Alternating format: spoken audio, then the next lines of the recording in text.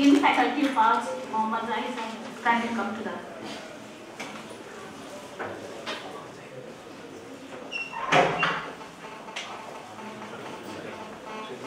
Next, I request our Chairman, Department of Linguistics, Professor A.R. Fateh, to kindly come to the dais.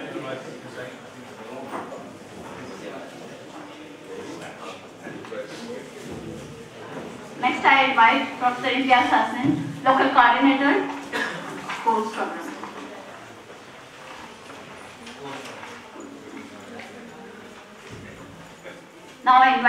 Mohammad Jahangir Wasi, local coordinator, Gyan AMU.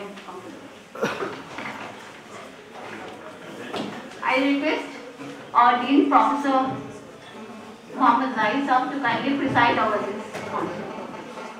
Keeping up with the tradition of Aligarh Muslim University, we begin our program with the recitation from the Holy Quran.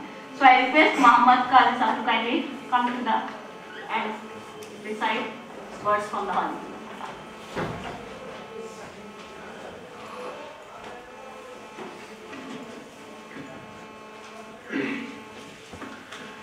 أعوذ بالله من الشيطان الرجيم. بسم الله الرحمن الرحيم. يا أيها الإنسان ما غرك بربك الكريم؟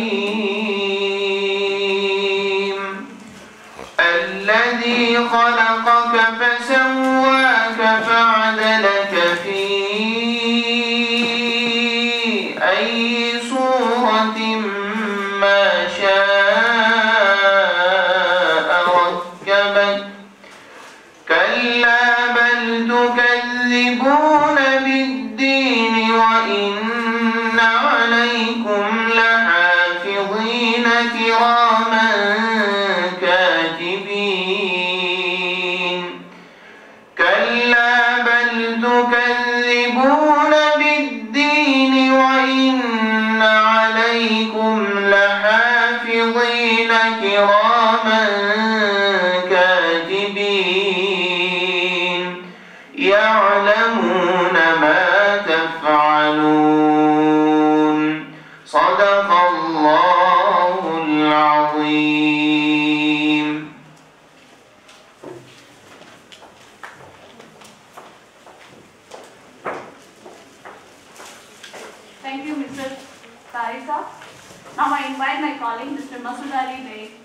to formally welcome the guests.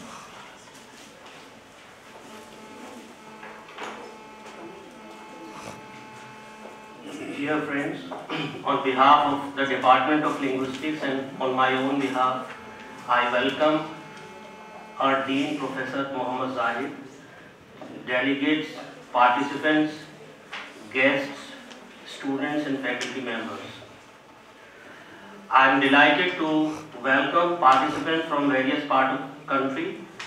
We are happy to welcome eminent scholars Professor Nicholas Ostler from UK and from uh, and Professor Panchanan Mohanty from University of Hyderabad.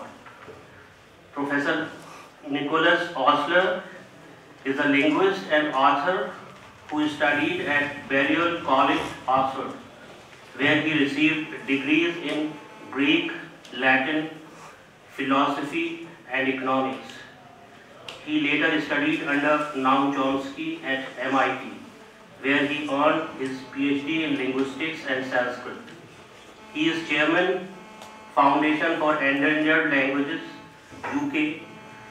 His significant publications include Empires of the Word, A Language History of the World, HarperCollins, 9, 2005, and Infinitum, A Bibliography of Latin, HarperCollins, 2007.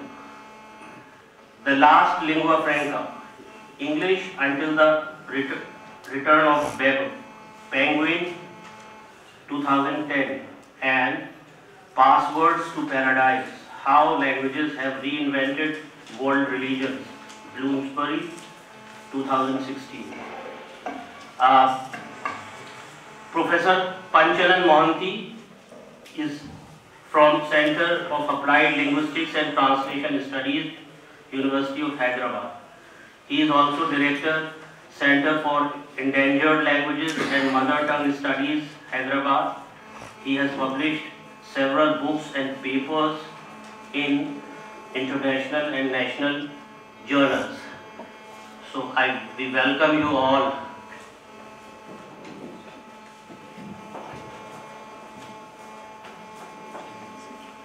Thank you, Officer. Now I call our student Wadvish Mohsin kindly present a memento to our guest, Professor Nicholas Ostler.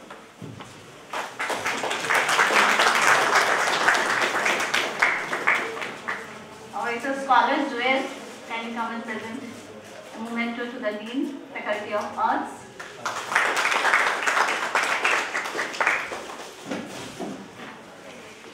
Now I invite Lo- Gyan Local Coordinator, Aligarh Muslim University, Dr. Mohammad Jahangir Wasi to introduce the Gyan program.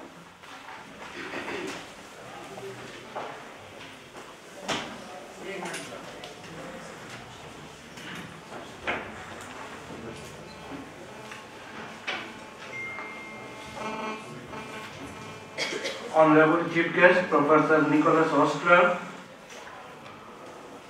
our Dean, Faculty of Arts, Professor Jai Sir, Chairman, Department of Linguistics, Professor Yar Fakir Sir, uh, Professor Panchanan Mohanty from University of Hyderabad, uh, Imtiaz Sir, uh, Professor Sahab Fadal Sir, Tariqul Islam Sir, uh, all all my colleagues and their students,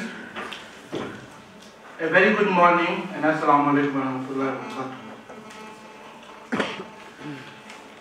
On behalf of the university, on behalf of our Vice Chancellor, who could not make it for some reason, and on my own personal behalf, I welcome you all in this sunny and beautiful campus.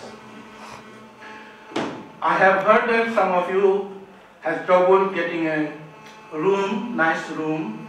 It was, it had happened due to like Professor Imtiaz Hasnain was out of country, I was out of town, but uh, I am sure you may have made it to a nicer room and uh, I assure you in the coming days you will not have those kind of troubles. So once again I welcome you all in this campus. As a university coordinator for this GYAN program, I have a duty to perform and uh, so say a few words about this. I, I was teaching at UC Berkeley when Professor Ernie was invited to say a few words. He said a linguist cannot be a linguist if he cannot say a few words. So I am here to say a few words. Global Initiative of Academic Network, which is also known as GYAN, in higher education is a promising scheme of the Government of India through the Ministry of Human Resource Development. GYAN aims at tapping the talent pool of scientists, experts, entrepreneurs to engage with the Institute of Higher Education in India to augment the country's existing academic resources, accelerate the pace of the quality reforms, and further strengthen India's scientific and technological capabilities. This program was initially conceptualized as an Indo-US collaboration, but was later its scope was extended in order to garner the best international experience into our system of education, enable interaction of students and faculty with the best academic and industry experts from all around the world, and also share their experiences and expertise to motivate people to work on Indian programs, which has happened during the retreat of IITs with the Minister of Human Resource Development Government of India on 29 June 2014 at Goa. It was decided that a system of guest lectures by internationally and nationally renowned experts would be evolved along with the comprehensive faculty development program, not only for the new IITs, IIMs, IISERs, but also to other institutions like central universities in the country. The scheme connects India's top institutions and central universities with global faculty. It will be helpful for adoption of new methods in teaching, boosting research and cutting-edge technologies and building a stronger academic networks. For this purpose, IIT Kharagpur is the nodal institution and national coordinator of the GYAN program. There are few objectives for which this GYAN was initiated, which includes to increase the footfalls of reputed international faculty in Indian academic institutes, provide opportunity to our faculty to learn and share knowledge and teaching skills in cutting edge areas, to provide opportunity to our students to seek knowledge and experience from reputed international faculty,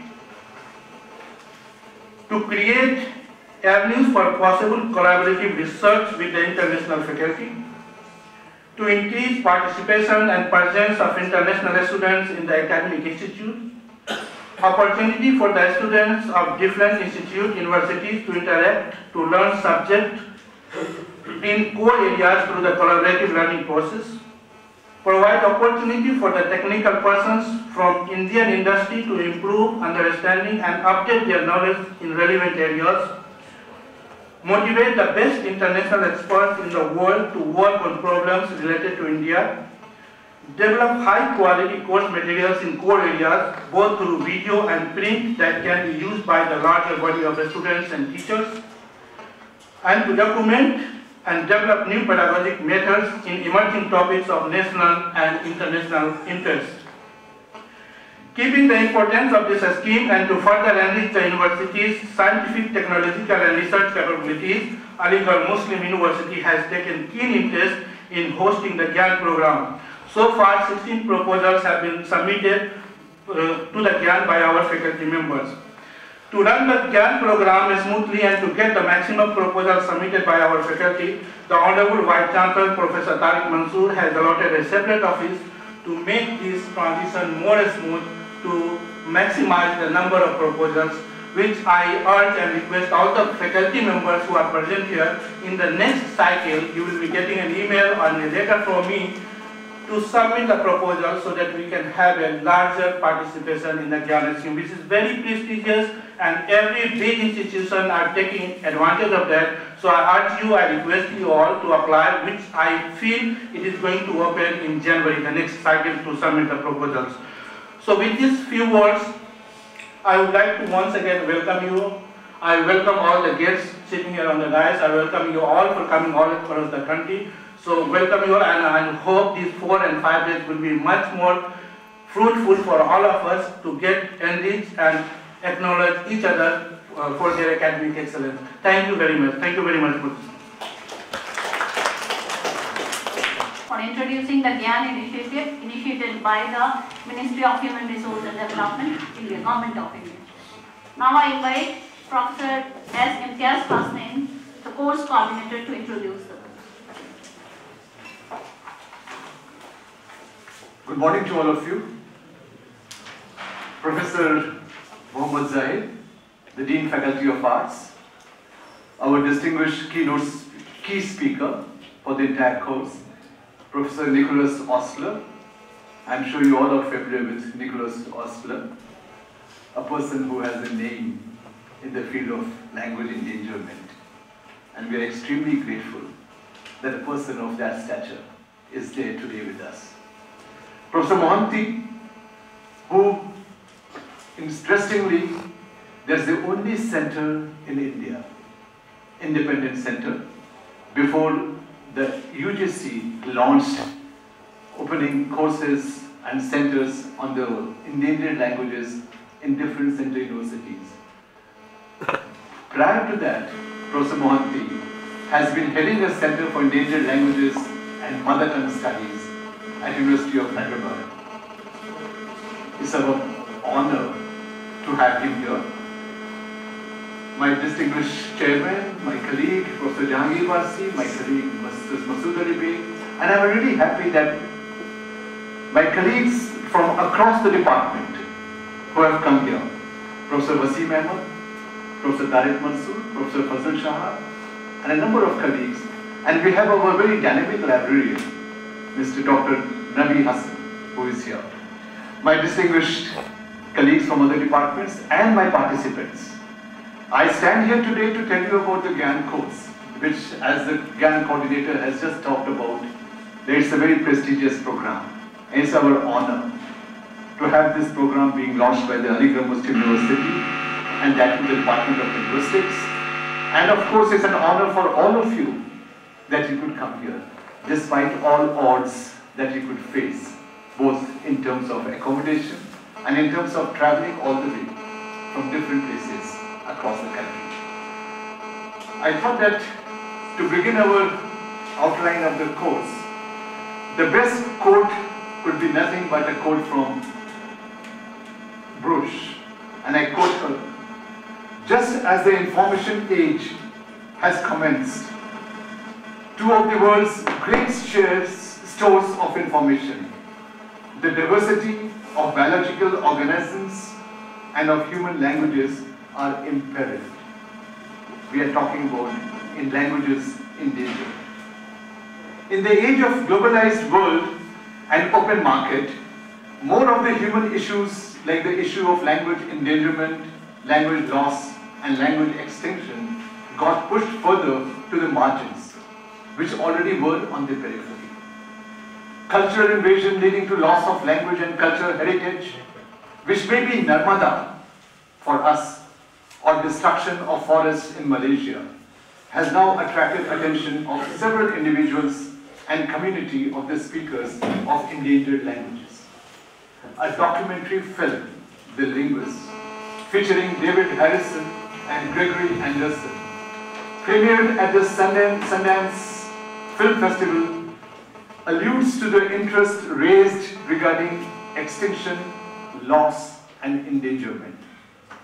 The Linguist made headlines around the world and generated immense publicity to raise public awareness about endangered and disappearing languages and the consequent threat to linguistic diversity.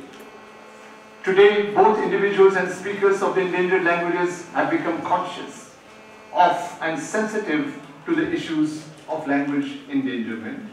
Several organizations are working with threatened or endangered languages.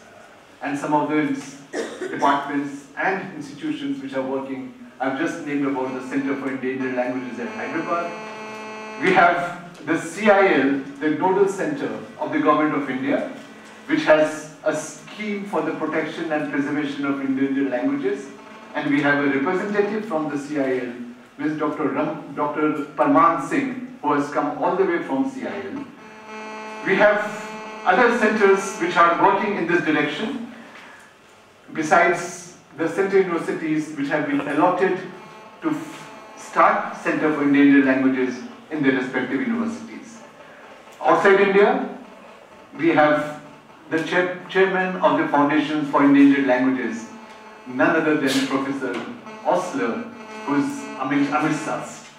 We also have the Native Languages Fund's Department of Linguistics at Yale University, Living Tongues Institute for Endangered Languages at Oregon, Work Group on Native Languages at University of Cologne, Germany, and a permanent International Committee of Linguists, University of Leiden, and Terra Lingua. There are many, I've just named a few.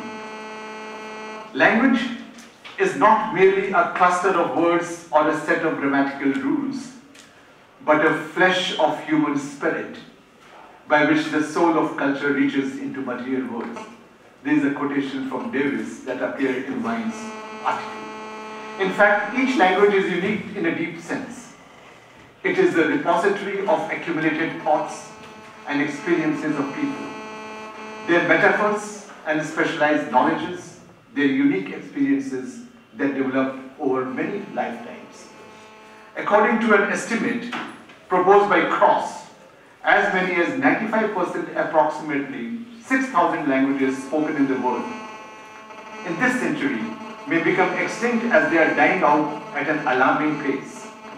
Regarding the remaining 5%, Krauss says that they will belong to at most 20 language, 20 language families and the two major language families of the world, namely Indo-European and Niger-Congo will take up more than half of the languages from this 5%.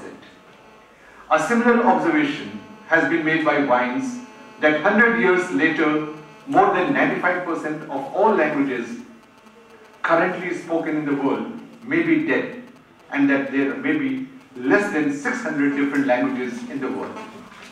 Of course, language, language loss, language engagement has been perceived by different people in different ways. For us, this perception is very sensitive. We are sensitive to the loss of languages. Because what happens when we lose a language? Of course, when we lose a language, we lose a culture.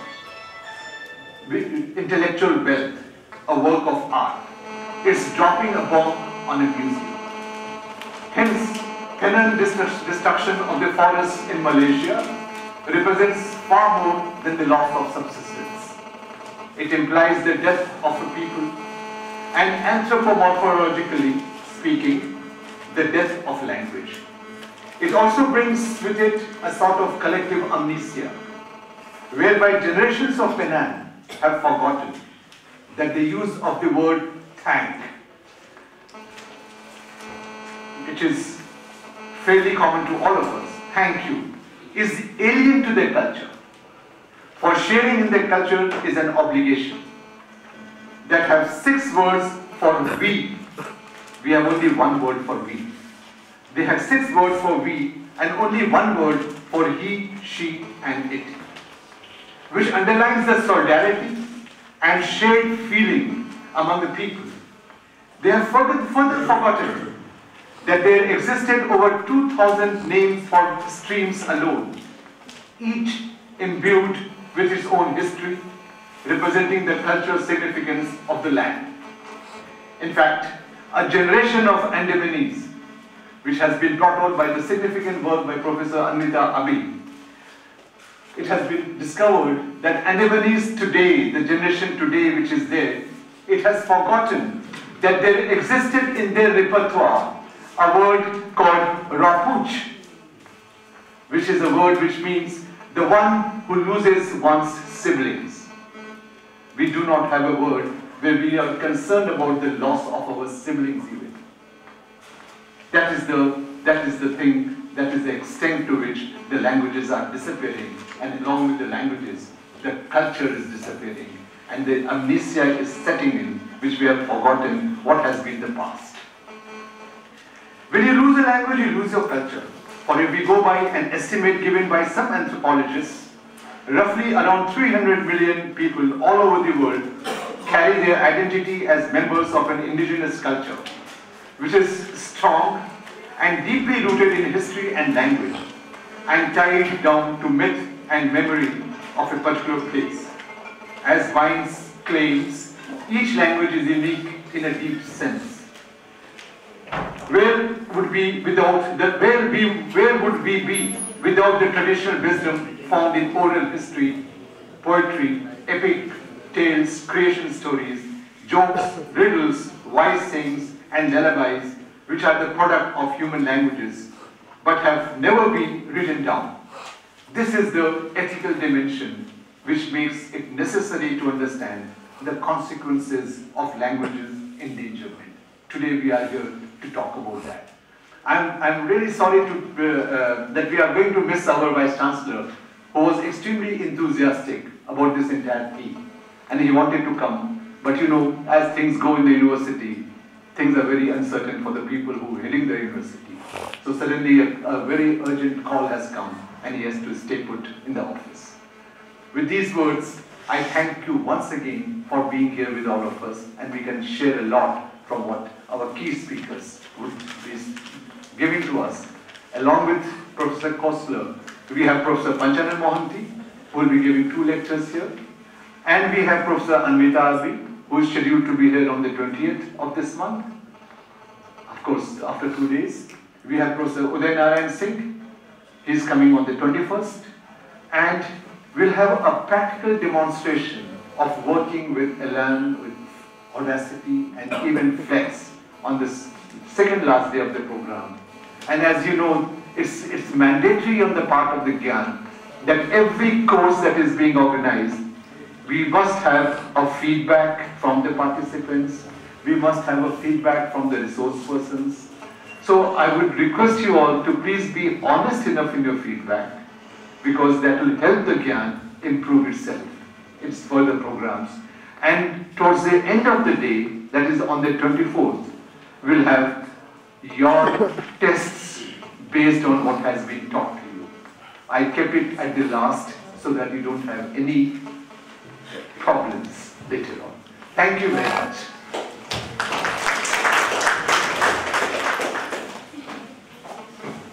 Thank you, Professor Hasnain, for a very lucid introduction of the theme of this course. Now it's time to hear our guest today, Professor Nicholas Ostler. I invite you to kindly present your remarks.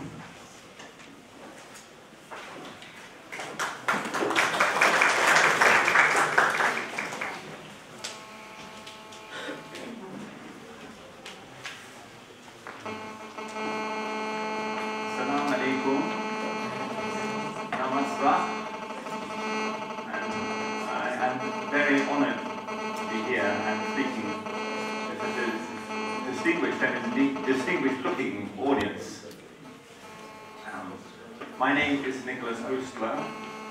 I come from the UK, where I live uh, just outside London, um, in a place called Hungerford.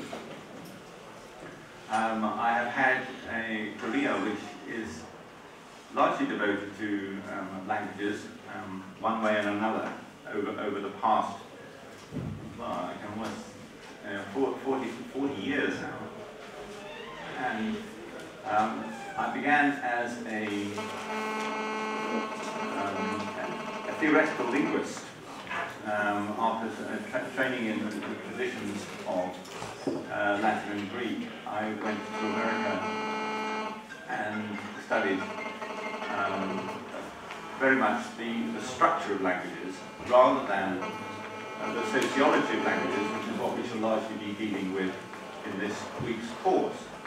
Um, what has happened is in the course of a, a lifetime career, I have been pushed from um, the, the technical concerns of language um, into the question of the uh, vitality and, and, continued existence of languages themselves. And I think uh, we are actually, will be in this course addressing the very um, guts of what uh, linguistics and languages are about. Um, and the title for the um, for the course is Languages, Endangerment and Allied Topics. And you will find, in terms of the content of what we have to, uh, to discuss, that as well as uh, endangered languages, which will certainly be um, addressed in many of the talks, we shall be talking about the context in which languages find themselves to be endangered. And so we will spend quite a lot of time talking about endangering languages about languages like the, uh, the language in which I'm addressing you now, slightly ruefully, um, namely English, whose uh, position in the world has been assured through the activities, nefarious and otherwise, of the British and the Americans and many, many other uh, people who have been affected by them and, and, and brought to this. Um, so I don't know um, whether um, you have, I don't think you have yet received um, a timetable for the, um, the lectures that are coming. Ha has that been distributed? I, I, haven't seen it. If, if not, I can just say a little word about it. Um, thank you. just to give you an idea of what's coming. Um, I shall, um, for worse, be giving uh, the majority of the lectures that you hear over this week. And I start uh, very widely in thinking about uh, the roots of endangerment in the linguistic history of the world. Um, and thinking not only about um, how languages originally spread around the whole world, um, but uh, what one should expect uh, to come of this expansion in the future. So I talk about the history of language succession, uh, which is a way of looking at um, languages and their role in the world, which hasn't generally been um, part of the discourse, so I hope you'll find that interesting. Um, that's how we start, but oh, very soon we will move on to um, activities which will involve you, the audience. I can see there are a large number of microphones here, and I hope they will be used um, in the course of this week. Um, we have a, a first uh, workshop or tutorial session um, on language documentation, which of course is important for um, languages which find themselves um, unable to reproduce naturally. And what we um, we have a problem, it could be said. Um, is it possible I could get a, a water? Um, the um, so um, it, we have a problem in that there are quite a large number of you, about 50 I think, and it's quite difficult to organise and what one might call a tutorial session with that number. But we have thought of a procedure for perhaps doing that. And I will bring this to your attention now um, rather than later. Um, in, in the, you have, uh, it starts proposed organisation of workshop tutorials by Mick Zosima. Um, I talk about um, how we are thinking of organising. Um, effectively, there should be a, a, a tutorial session on documentation tomorrow, and another uh, tutorial session on providing scripts for um, unwritten languages on a, on a subsequent day. I'm trying to work out which day it's going to be on. Workshop number two on December the 20th. So that's the day after tomorrow. And um, we have a distinguished audience. We know we have a distinguished audience, but I don't know um, which of you are distinguished in different ways. So what I would like is, um, is for each of you who finds yourself um, by the, the program.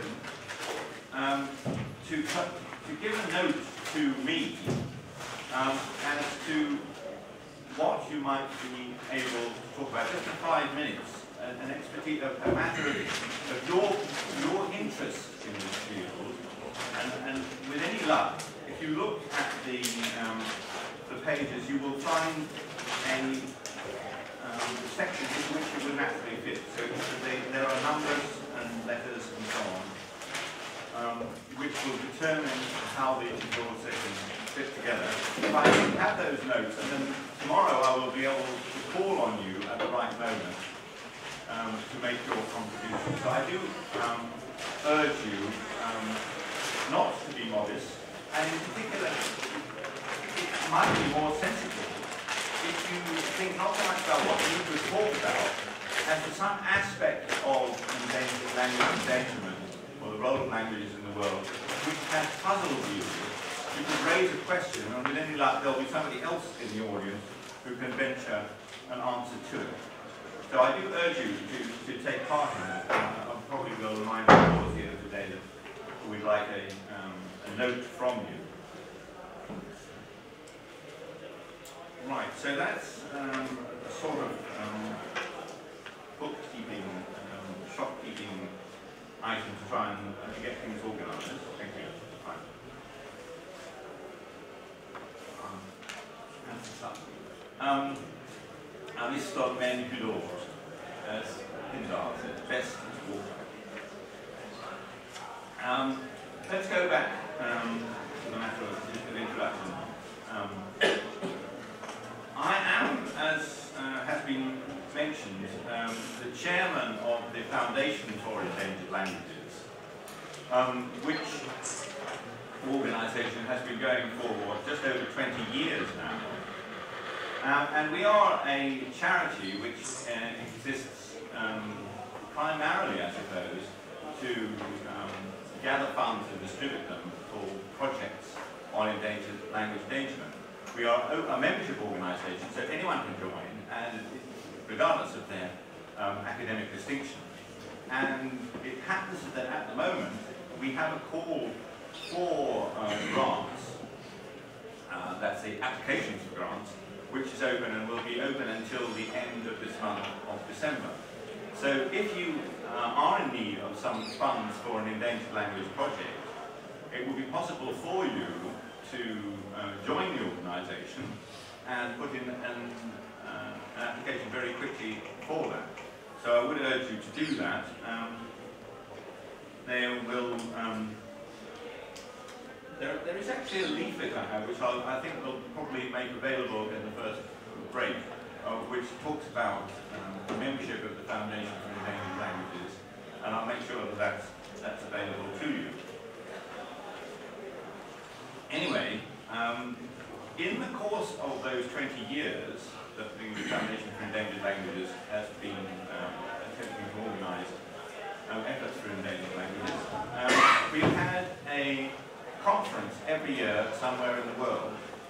And each of those conferences, um, except the first one, unfortunately, um, resulted in a volume being produced and published. And so we now have a set of 20 books which represent um, activities going on and the concern for particular languages all around the world. And I have the whole set here. I, I, I don't know if there's much point in I have it set here. I want it to be available to people in the break to see what it is like.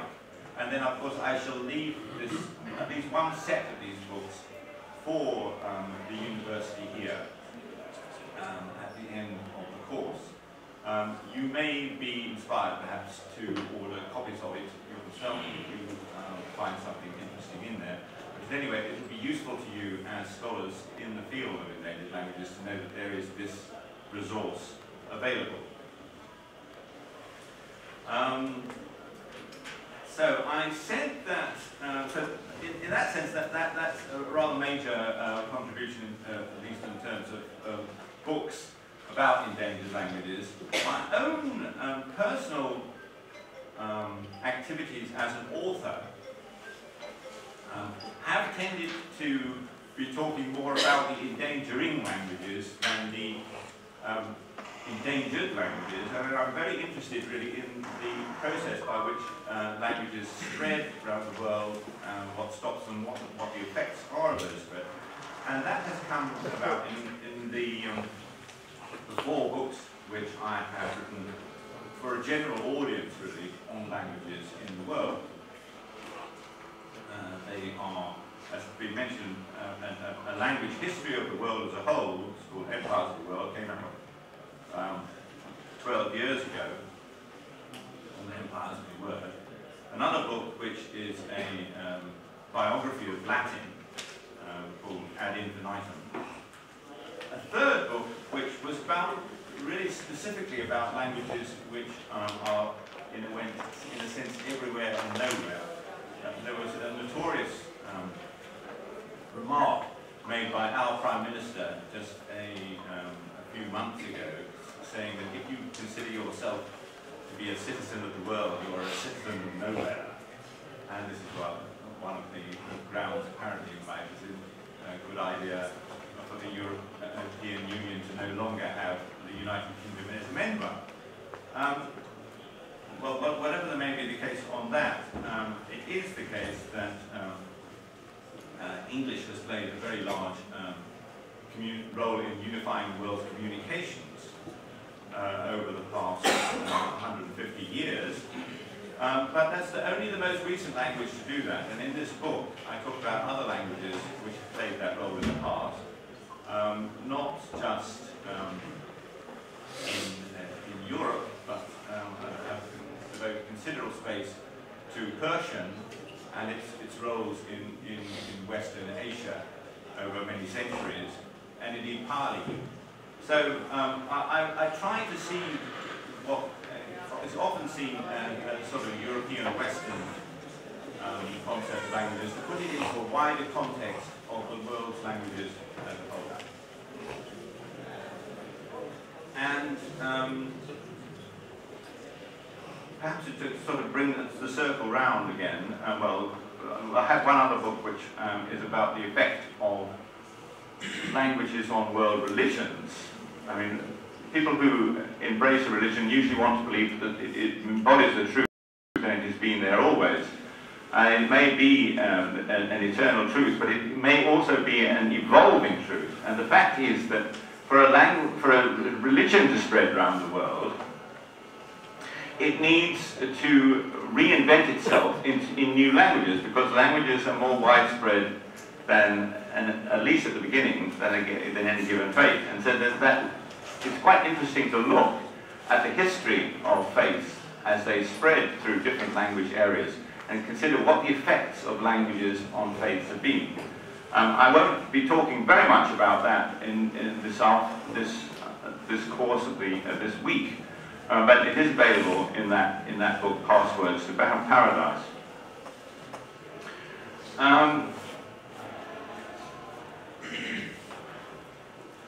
so, um, let us look at um, the world's languages in a, in a, in a general framework. Um, I picked out um, as the um, epigraph to one of the chapters of Ad Infinitum, my book on Latin, a, a Latin verse which asks the main questions. Quis quid ubi quibus auxiliis cur quomodo quando? Now that happens to be an, hexameter line in Latin, which is the most uh, notable um, verse form in Latin, in much the same way that the shlok is in Sanskrit. It's, you know, quis, who, quid, what, ubi, where, quibus auxiliis, by what means, cur, why, quomodo, how, quando, when. And this is a way uh, of, of, of organizing a organizing a, um, a research product um, in Latin. It occurred to me that one could actually produce um, an Arustuf um, shlok in Sanskrit for doing much the same thing. Kim utra kina kasma. And if you look at that, then you can see that those different questions uh, that was a bit of Sanskrit was too much for the technical. All right. Um, and as you can see, the now, if you if you if you're following along in the uh, uh, copy documents, uh, you can see that um, writing Devanagari was too much for whatever um, Western-oriented uh, word processing um, device um, produced this, these pieces of paper. So that I had actually written it down in. Uh, uh, Devanagari more naturally for Sanskrit than Roman, but only the Roman has got through. And there's a sort of moral there somewhere. Um, anyway, if one thinks about that, one can then organize many of the, uh, the, the talks that we've had um, over the years. Um, so, Kach would uh, uh, focus on the speaker community of a language and its history. Kim the language itself as it is documented. Kutra, its location and its geography. Kina, um, by what, um, what by useful, so that can also mean useful collaborations when it means with what, and also tools, uh, using what. Kasmat, where does it come from? Kimartam, what is the value that it has to its community? Katam, how should we go about revitalizing it? And Kadara, how in practice can we schedule this? When is going to happen? And if you look, then then you can see that uh, I've, I've, I've got a page um, afterwards which gives you the titles of the FEL volumes um, over the past 21 years. And um, I've assigned them really uh, to those different sections. Um, a a different way uh, and a new way of integrating and organizing um, what we've said over the past 20 years. It becomes a bit overwhelming when you've got so many individual titles. And course, each one of those volumes contains about um, 20 to 30 um, articles about usually individual um, languages. So we've got something like 500 to 600 articles in this library which we've built up over 20 years. Now, having said so much really for the background um, of why I'm here and what I'm what I'm doing. I think we need to move on to the content of the first lecture. Are we going to be able to get a PowerPoint? So, so, oh, so this is, okay, so that, perhaps that's the end of my contribution? Yes, that's good, uh, that's useful clarification. I think we should move on.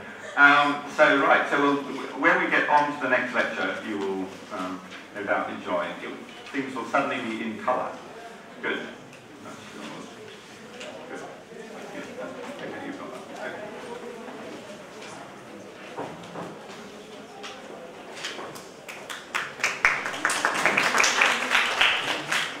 Professor for your very enriching lecture. We look forward to hear from you the very first session.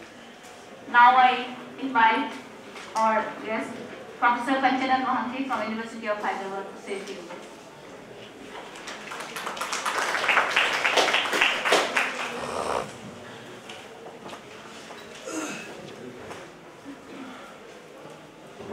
Good morning, Professor Ostler, Professor Zahid, Professor Fatigi, Professor Warsi, Professor Hasnain, esteemed colleagues, friends, and students. It's a pleasure that um, Department of Linguistics, Aligarh Muslim University, uh, is organizing this kind of course. I know that Professor Hasnain um, organized this kind of seminar maybe two, three years ago in which all of us were there. We discussed certain things. Um, I would probably, I am a great believer in folk tales, folk songs, etc., etc., because I have heard all these things from my mother and other fam- um, um, um, senior ladies of my family, and that has enriched me. And today's research says that that is quite important for the cognitive development of children. Um, I have heard many stories, we believe in uh, many stories and hear stories from others. Charaka, uh, as you know, was a um, very renowned doctor in the olden days. And uh, a student asked him about the uh, importance of plants. He said, go and find out which are the plants that have medicinal values and which are the plants that don't have medicinal values. And he went, spent quite a lot of time, came back and said that there's no plant which doesn't have medicinal values. What I'm trying to say is that there's no language which doesn't have importance. Every language is quite important. Now it's time we'll have to link linguistic diversity to biodiversity in a very big way. Most people, the so-called educated people who matter in this country do not understand that biodiversity will survive if and only if linguistic diversity survives. People must know that. Uh, human beings, as all of us know, started speaking around one lakh years ago. Speech was there almost one lakh years ago. That's what, you know, if you look at the development of the skull, etc., etc., you know, you can make out what has happened, uh, difference between the primates and the human beings. But writing is only 5,000 years old, not more than that. But today we have been emphasizing writing a lot, and spoken language has been kind of relegated to the background. That's why we make a distinction between language and dialect. To be specific, if I use whatever people use in Hindi, Urdu, Bhasha and Boli. If a language doesn't have a script, it's a Boli. All of a sudden, it's relegated to a secondary kind of uh, status. For your information, Sanskrit was not written at a certain point of time. That's the reason for which the Vedas were called Shruti. You hear it, learn it, and that's why Shikshas and uh, uh, uh, Pratishakhyas were written. How to recite Sanskrit correctly. Today's Hindi is nothing but Khadi Boli. It's a Boli also. Now, such things must be, and English doesn't have its own script. An English man- is sitting here. It has borrowed the script from Latin. And Hindi doesn't uh, have its own script. Urdu doesn't have its own script.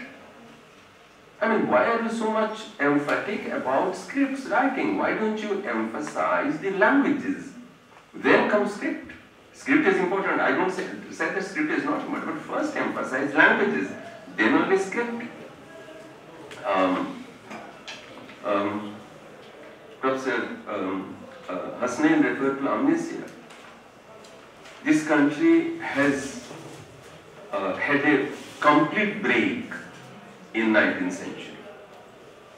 That's the greatest amnesia we have um, uh, experienced in this country ever. I'll give you an example. Uh, most literature teachers, uh, you know that if you are reading ancient or medieval literature, especially if you are teaching poetry, poems, you'll see that every poem has a raga and a tala. Every poem. I am yet to see a teacher of Indian languages who knows the ragas and talas. What are you teaching? You are teaching something like, you know, you teach prose. You recite and give the meanings, but never the raga and tala which are linked to the semantic import, the content of the poem. So that is, the, we'll have to probably revamp everything if we are very serious about it. Professor Nicholas Ostler referred to uh, endangering languages. I have heard him many times. And he um, also, which he didn't uh, do, a metaphor, big fish and small fish. And he has done that. Yes, yes, he has done that. And he said, uh, you know, he believes that big fish would eat small fish. Uh, well, I have a little kind of footnote to whatever he is saying. In the ocean, there are many big fishes and many small fishes. They live happily together. Why can we not do the same thing on earth? We could do that also. Look, big, we won't allow the big fish or big fishes to become hooligans, to goon, to become goons. And why should a language endanger another small language? Is it not hooliganism? I mean, if we have something called language planning, everybody will be in place. Since we don't have that, some people have become like that. Now, big languages also have many deficiencies, including Sanskrit. I've been very, I know Sanskrit reasonably well. Um, including, I'll give you a very simple example. Not only um, Sanskrit, but also Hindi. Hindi is no less. If you think that Hindi, Urdu are great languages, well, my language is also a great language. A small language is also a great language. You know, that, I'll give you one example. Take uh, the word for mouth. In Sanskrit, normally it is mukha. How will you make a distinction between mouth and face? How will you make a distinction between mouth and face in Hindi Urdu? मुंह धो के आओ और तुम्हारा मुंह ठीक नहीं दिख रहा है they both face and mouth if you ask me I will make distinction my language makes a distinction between mouth and face I know so my language means I don't say Odi I do that but many small languages can do that I'll give you many such examples to show that small languages also do that now that a um, very learned scholar of Latin is sitting I'll tell you that um, um, there are two words I would like to just mention. One is monster, one is dexter. Monster is left, you interpret it any way you like, and dexter is right, which is, dexter is of course a, uh, a, a cognate of dakshina in Sanskrit. Uh, small languages do the same thing. I work on small languages spoken in Orissa and Andhra Pradesh. This is Bhujni Hatha. Bhujni is Bhojan, to eat, eating hand. This is Debri Hatha. I won't have to tell you the meaning of Debri. We make a distinction. Now, whatever Latin used to do, these small languages also. Can you do that in Hindi, Urdu, or whatever, Marathi, Bangla, Odia? Can you do that? You cannot. Now, see, I mean, we are, what I'm trying to say is that the cognitive abilities of the small language speakers is quite important, significant, and the languages are very important. As it has been already mentioned, every language has importance, and that we must recognize. Um, well, somebody, please don't make a distinction between language and dialect. Yes, it is there. Linguistically, yes, something can be done, but nothing is fixed. Yesterday, Maithili was a language of Hindi, today it's a separate language. Uh, yesterday, uh, Konkani was a dialect of Marathi, it's a separate language, so all these things are happening. So that's not important. Now, we must, um, I am trying to impress upon the younger people present here that if somebody says that, yeah, teri bhasha to boli hai, I think this is nothing but linguistic untouchability.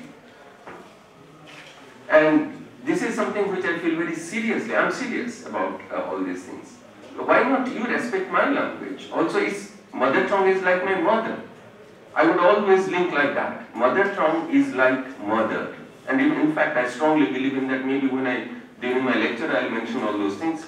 Now, if not, let's talk about linguistic untouchability also. And let's try uh, to celebrate uh, um, linguistic diversity, small languages, big languages, everybody is important. As you kill a small animal, you'll be punished. It doesn't matter. You are going to be punished. And uh, this is what is happening. So if anybody is not looking after small language uh, in this country, there should be some kind of provision for that. And thank you very much for this opportunity. Uh, thank you very much.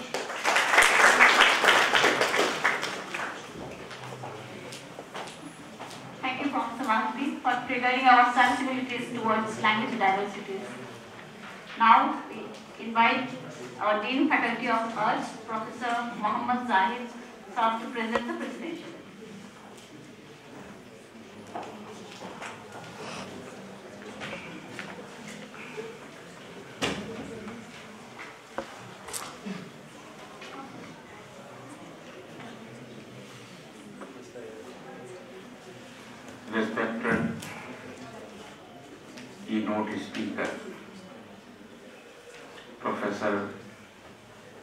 Nicholas Ostler,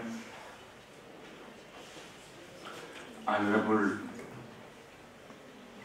on the rise, distinguished delegates, ladies and gentlemen, and dear students. Assalamu alaikum. It gives me great pleasure to extend to you all a very warm welcome on behalf of the Department of Linguistics and the Faculty of Arts. And to say how grateful we are to Global Initiative of Academic Network who have accepted our invitations to convene this conference on endangered languages here in Aligarh. It is an opportune time to renew contacts and discuss problems of endangerment. The next century will see more than half of the world's 6,000 languages become extinct, and most of these will disappear without being adequately recorded. As I understand, the aim of the course is to bring together prominent scholars who are actively engaged in research projects and partnerships on different aspects of endangered languages, documentation, and revitalization. I wish to welcome Professor Nicholas Ostler, who is the chairman of Foundation for Endangered Languages, the Foundation for Endangered Languages, a registered body that supports, enables and assists the documentation, protection and promotion of endangered languages. She is the author of a number of books, including Empires of the Word, A Language History of the World, and Ad Infinitum, a biography of Latin in most of his writings. Professor Nicholas Ostler has explored what humanity is trying to lose as a result of language loss. Language diversity is essential to the human heritage. Each and every language embodies the unique cultural wisdom of a people. The loss of any language is thus a loss of all humanity. He has addressed you on the topic which is very much close to his heart. I also welcome Professor Panchanan Mohanty. Professor Mohanty is a professor of, at the Center of Applied Linguistics and Translation. He studies at the University of Hyderabad. He teaches various subjects in linguistics and applied linguistics and published more than 100 papers in journals like General Linguistics, Language Policy, Language Problems, and Language Planning. Journal of Professional and Academic English Mother Tongue, Indian Linguistics, International Journal of Dravidian Linguistics. Welcome to Aligarh, sir. I wish to take this opportunity to welcome Padmavali Professor Abita Abdi. She is likely to join us later. She is known for her studies on tribal languages and other minority languages of South Asia. Her studies have helped in identifying the distinct characteristics of two great Andamanese language, Jarawa and Onge. She has more than dozen books to her credit. Professor Abbi has held many positions of importance, both at administrative and academic level. At present, she is the director, Center of Oral and Tribal Literature Sahitya Akademi. I wish to take this opportunity to welcome the participants from Maharashtra, Delhi, Uttar Pradesh, West Bengal, Tamil Nadu, Kerala, Andhra Pradesh, who have arrived here to join this series. We are delighted to have you here to participate and share your views in the workshop. Thank you for coming. That many of you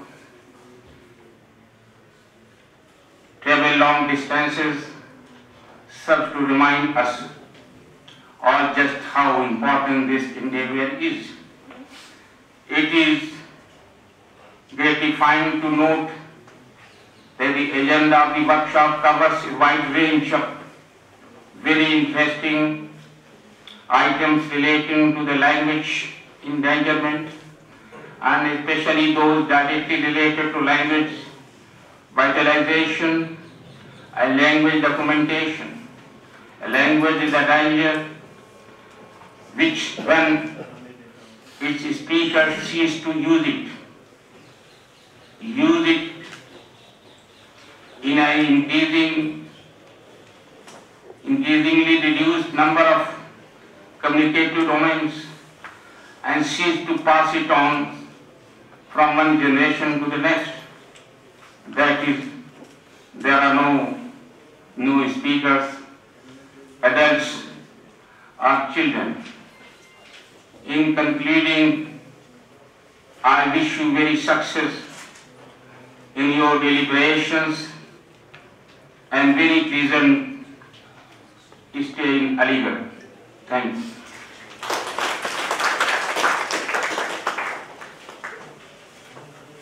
you very much, Professor Mohammad Zahid. Now I request the Chairman Department of Linguistics, Professor A.R. Sir, to present the vote of thanks.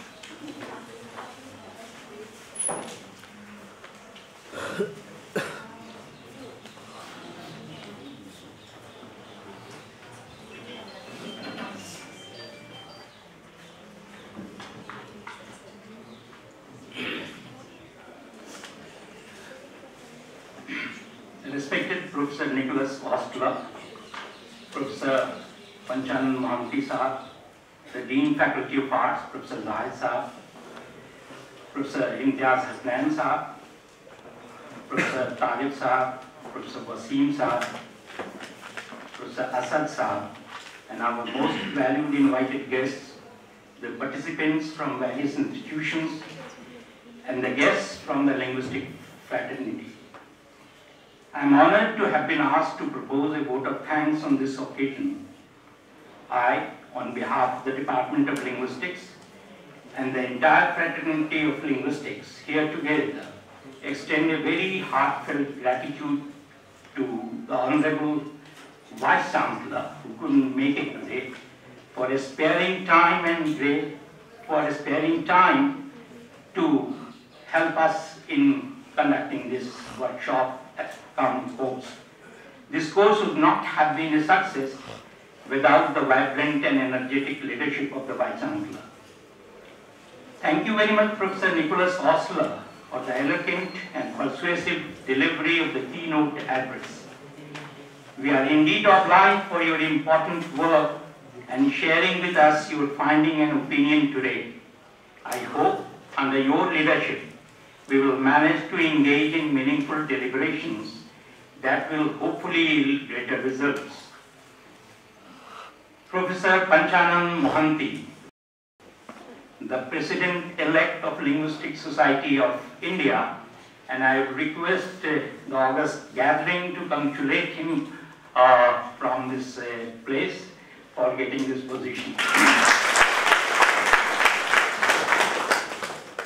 We thank you for gracing us with your presence and for your contribution at this gathering. Please allow me to commence by acknowledging all who are present here. I humbly extend our appreciation to you all for honoring the invitation. I must mention our deep sense of appreciation for Professor Muhammad Zahid Sahab. I, I, I must mention our deep sense of appreciation for, for Professor Muhammad Zahid Sahab for sharing with us his views. We are all inspired by your great words, sir. I take this opportunity to extend our sincere thanks to CIIL, Central Institute of Indian Languages, and uh, uh, representative who, are, who is here uh, for this uh, workshop, and all our guest invitees who have come from different destinations for their support and cooperation. I also wish to express my gratitude to Professor Imtiaz Hasnain the course coordinator, for his minute-to-minute guidance and support and for providing encouragement at every point of time in the organization of this event. An event of this dimension cannot happen overnight. It requires meticulous planning and execution and, eye, and an eye for all the details. Thank you very much, Imtiaz sir. Ladies and gentlemen, let me also extend our sincere gratitude to the local coordinator, Global Initiative of Academic Network, that is GYAN, for being part of the course. Your contribution did not go unnoticed, sir. I cannot thank everyone enough for the involvement they have shown. I am thankful to Dr. Nazreen Lashkar, who was, who is rather comparing this morning, Dr. Sabahuddin Ahmad, Dr. Abdul Aziz, Dr. Masood Hussain Saab, and the office staff for the willingness they have expressed to take on the completion of the task beyond their comfort zones. Mr. Chairman, sir, and ladies and gentlemen, once again I want to state that we are all most grateful to you all. We thank you for being with us this morning It has been a great pleasure. As we say in Urdu, जब एक जबान मरती है तो उसके साथ एक तहजीब खत्म होती है. So we all need to join hands to preserve the languages. Thank you very much.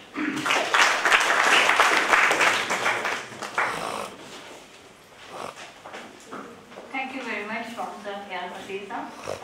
Now we end the program. Before that, we present the University Telephone, followed by the national anthem.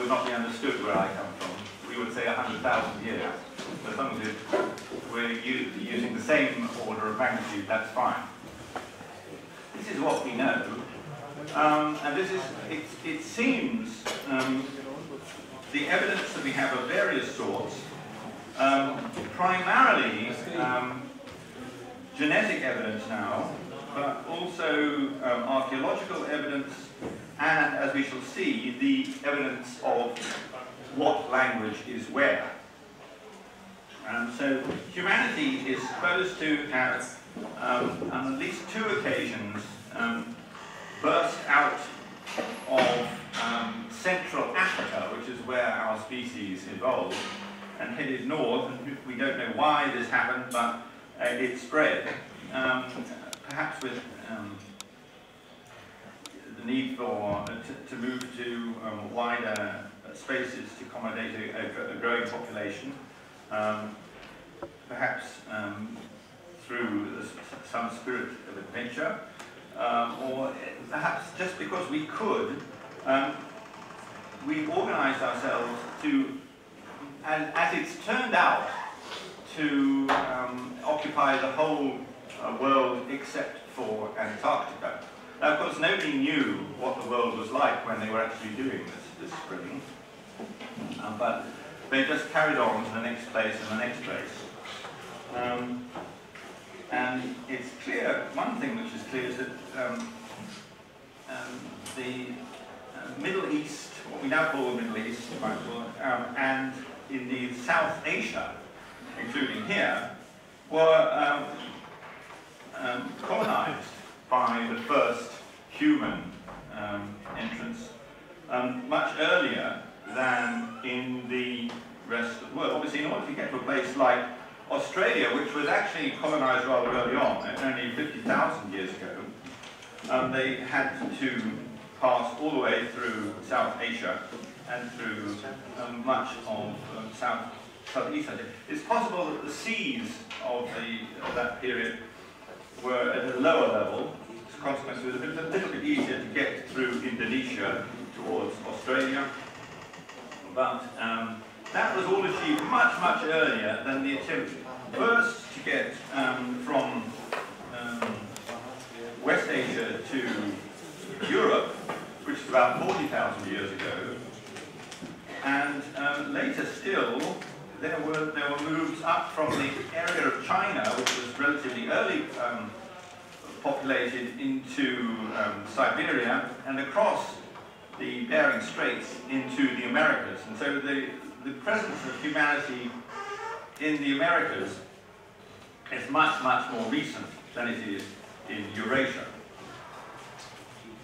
Um, we can trace this, um, this movement. I mean, we, we, the last slide showed the sort of consensus that there is at the moment about the human colonization of the Earth. Um, but there are various forms of um, genetic um, evidence that can be used, which by and large, luckily enough, confirm this, this pattern. Um, one, one way that one can look is on the, looking for the pattern of genes um, which are passed on through one line or another, so the female line or the male line. The, ma the, the, the, the primary um, genetic route for talking about um, um, feminine um, spread um, genes is mitochondrial DNA, which you, which both men and women get from their mothers alone. And on the male side, there is um, the Y chromosome, which is only passed from males to males. And you can then look at the at the pattern of uh, mitochondrial, mitochondrial DNA and Y chromosomes across the populations of the world as they are now, and find and more or less map how the uh, genes have changed through mutation, and this gives you an implicit map of what is related to what. And you get a, a, a, map which turns out to be much the same map as the one we've just looked at. Um, what we're looking at here is in the, the male case, a Y chromosome, haplogroups. Haplogroups means that they um, come from just one side of the um, ancestry, namely in this case the male side. And uh, what you can see is again um, the um, original area of, of, of, um, of the genes will be in central Africa and there have been changes as the population gradually moved from there to other places in the world and um, there you can see it. So basically I'm showing you this not to give you an exercise or an, a, lesson in uh, genetics. Uh, it's, fascinating that it is, but unqualified as I would be to give that lecture. But anyway, this is just to reassure you that as far as modern science knows, that pattern of um, of occupation of the world by humanity is uh, reinforced by what we know from genetics. Uh, what we can also do, and now we come a bit closer to home as linguists, is look at the way languages are related to each other across the world and see uh, what pattern that creates. Uh, there are different ways you can do that. This particular map comes from um, emails, uh, the World Atlas of Language Structures, which you can find on the internet very easily. Um, and in this case, they uh, arranged the languages by typological data, which means how they cope with certain um, aspects of geometry. Um, and so this is not it, it, it, what we would at this stage consider to be genetic linguistics, but it's, it's a sort of typological similarity map of the world's languages. And once again, we have this thing that, the, that the, there's an, a concentrated area of languages which are all the same, oops, work all the same, um, in Africa. And then there are different patterns in these different areas, Europe, South Asia, um, another concentrated area in Indonesia and another one more in Australia. And then uh, more uh, variation has been, uh, has been invented, you could say, uh, as the languages spread into different parts of North and, and finally South America.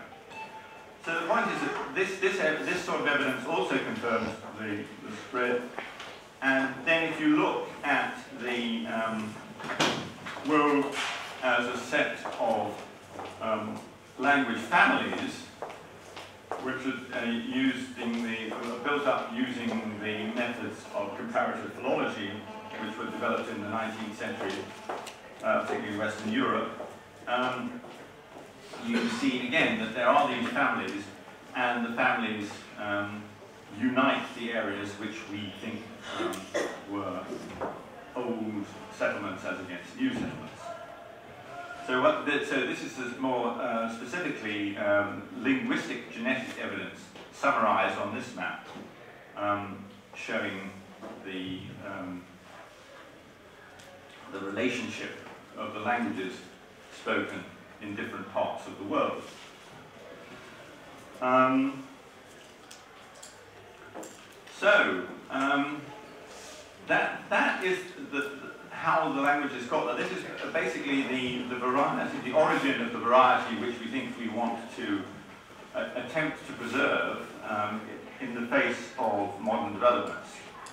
And there are various things that one can say um, about language um, which um, give it its role in human society. Uh, one thing that I put uh, early on is a little uh, insight which occurred to me when I was writing Empires of the Word, that if language, this faculty of language, makes us human, it's the fact that languages are different from each other, that the fact that there are languages which make us superhuman, the fact that we can actually organize in a very large, large scale. As I said, we, we achieved this um, spread of humanity around the world without knowing that the world was there or without knowing what the world was to overtake. And certainly by the time there were human beings all around the world, people at the extremities had no knowledge at all of their ancestors and cousins in other parts of the world, although they were there. Um, so the, the languages, you see, therefore, are, have, in the course of um, spreading around the world. Perhaps we started with a single language there coming out of Africa. Um, but um, when we lost touch with each other, we started um, developing our languages in different directions. Um, and the result was that instead of having just a faculty of language, we had a whole set of different language faculties. Um, so where, and, and, this in a way um, has given humanity uh, much of its ability to survive all the way around the world. Um, languages make us superhuman by giving us joint goals and imperatives, and even uh, uh when, with the advent of, of, empires, enforcing the goals and imperatives on. We assume, uh, in, perhaps in an Arcadian way, that when humanity was spreading around the world, they were in small groups of hunter-gatherers who were largely unable to control each other. They just went off and did their own thing. They might have problems from their environment or from um, wild beasts and so on, but they were not in a position to actually make each other do things. But later on, you can see, in the, uh, we'll talk about in a moment, with the uh, advent of farming, a large-scale organization in a single place, you, start, you get the advent of armies and empires and people making each other do what they don't want to do. Um, anyway, because we've got these, these languages, however, as well as having joint goals and imperatives, we're also aware of ourselves as being a group. We, we come across people who speak a different language and we can't communicate with them and say, well, they're different from us. And so languages tend to organize human, um, human groups. Even beyond um, people's knowing about it. They become batches of group identity, and little by little, because languages always have traditions, and, uh, because the young ones learn it from the older ones, you get traditions of history growing up. And people have their own ideas of where they come from. Another thing is, though, that um, there's a sort of generalized um, uh, property of um, human societies, um, which in the discipline of economics, you may have heard one of my um, degrees is supposed to be in economics. I spent at least two years um, thinking about um, the world from an economic perspective. And one of the most important things in economics is the pattern of falling marginal costs.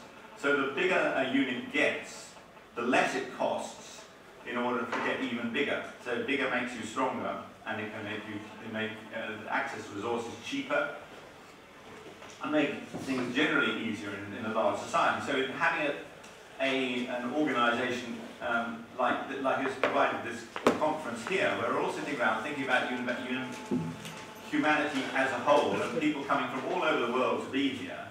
Uh, that can be done now, and, and it couldn't be done when we were in small groups. But it's because we're in big groups we're able to actually take a global view of humanity and as a result maybe even get concerned about endangered languages. So with agriculture um, and also with pastoralism, so keeping flocks and herds, um, human groups get larger than hunting bands. Um, people settle down wherever they are because it's easier to stay where they are than keep moving on if, if they've got themselves properly organised. But that means that they become um, sitting ducks for robbers, and so they need to organise their own defence. Um, furthermore, you, since we've identified traditions, especially the people who can't speak our language, we know our, lang- our people are the people who we can talk to, they begin to um, have a national organisation for things like religion. Um, furthermore, um, and when, when you've got the hierarchical society, people at the top want to say that we've got stuff that the rest of society haven't got. And they start wanting to um, acquire exotic products from further away. Because uh, granted that what's, e what's close is easy to get, but to show that you're important within one of these hierarchical societies, you want to show that you've got stuff that other people haven't got, so you, uh, you're interested in long distance trade. Furthermore, um, it's possible, um, as, as they say that the um, world's oldest labour-saving device is robbery. Uh, you can, if you haven't got what you want, it may be easier to go and take it from somebody next door to you, uh, especially if they seem to be weaker and a bit less well organised than you are. So, so the result of all these trends is that you get uh, empires arising to organise various parts of the world. Um, so um, there are other things which um, come, another aspect of um, that, that happens through the early organisation of human beings. With, agriculture, speech communities get, get larger and larger, um, and certainly larger than what we assumed was the beginning. It was just that there would be each village has its own language. They begin to wish to learn um, languages consciously, sometimes because that gives them access to longer distance relationships, so they get prestige out of that. Um, then if, if you have widespread religions, often religious language becomes specialized uh, over the, the whole religion more so than the conversational language that people use. Uh, mixed languages develop to facilitate trade, so um, people, if you're trying to get access to what's available from the other side of the world, uh, you're going to have to have some means of talking to people who unfortunately now speak a different language, and lingua francas begin to arise. These are languages which are there specifically uh, to en- enable long-distance communication. It's not the only communication you need, and people, some people nowadays say, why do you need anything other than lingua francas? But you still need intimate communication, which is different from long-distance communication, and it's perhaps better done in a, a more intimate language than the one that you typically learn, say, at school. Um, for your uh, social betterment, is presumably the reason why all of us learned English, except for me who learned my English from my mother's knee, you may not have done. Anyway, um, on the other hand, my mother did always encourage me and said, "Don't, uh, do things with your languages, Nicky. So she was conscious, even though she only knew English, that there was more out there, and that, that's the thing to think about. Anyway, the result of all this is, as well as the rise of empires coming about, we also get the rise of specialized means of communication, lingua francas, which are more widely useful than individual areas.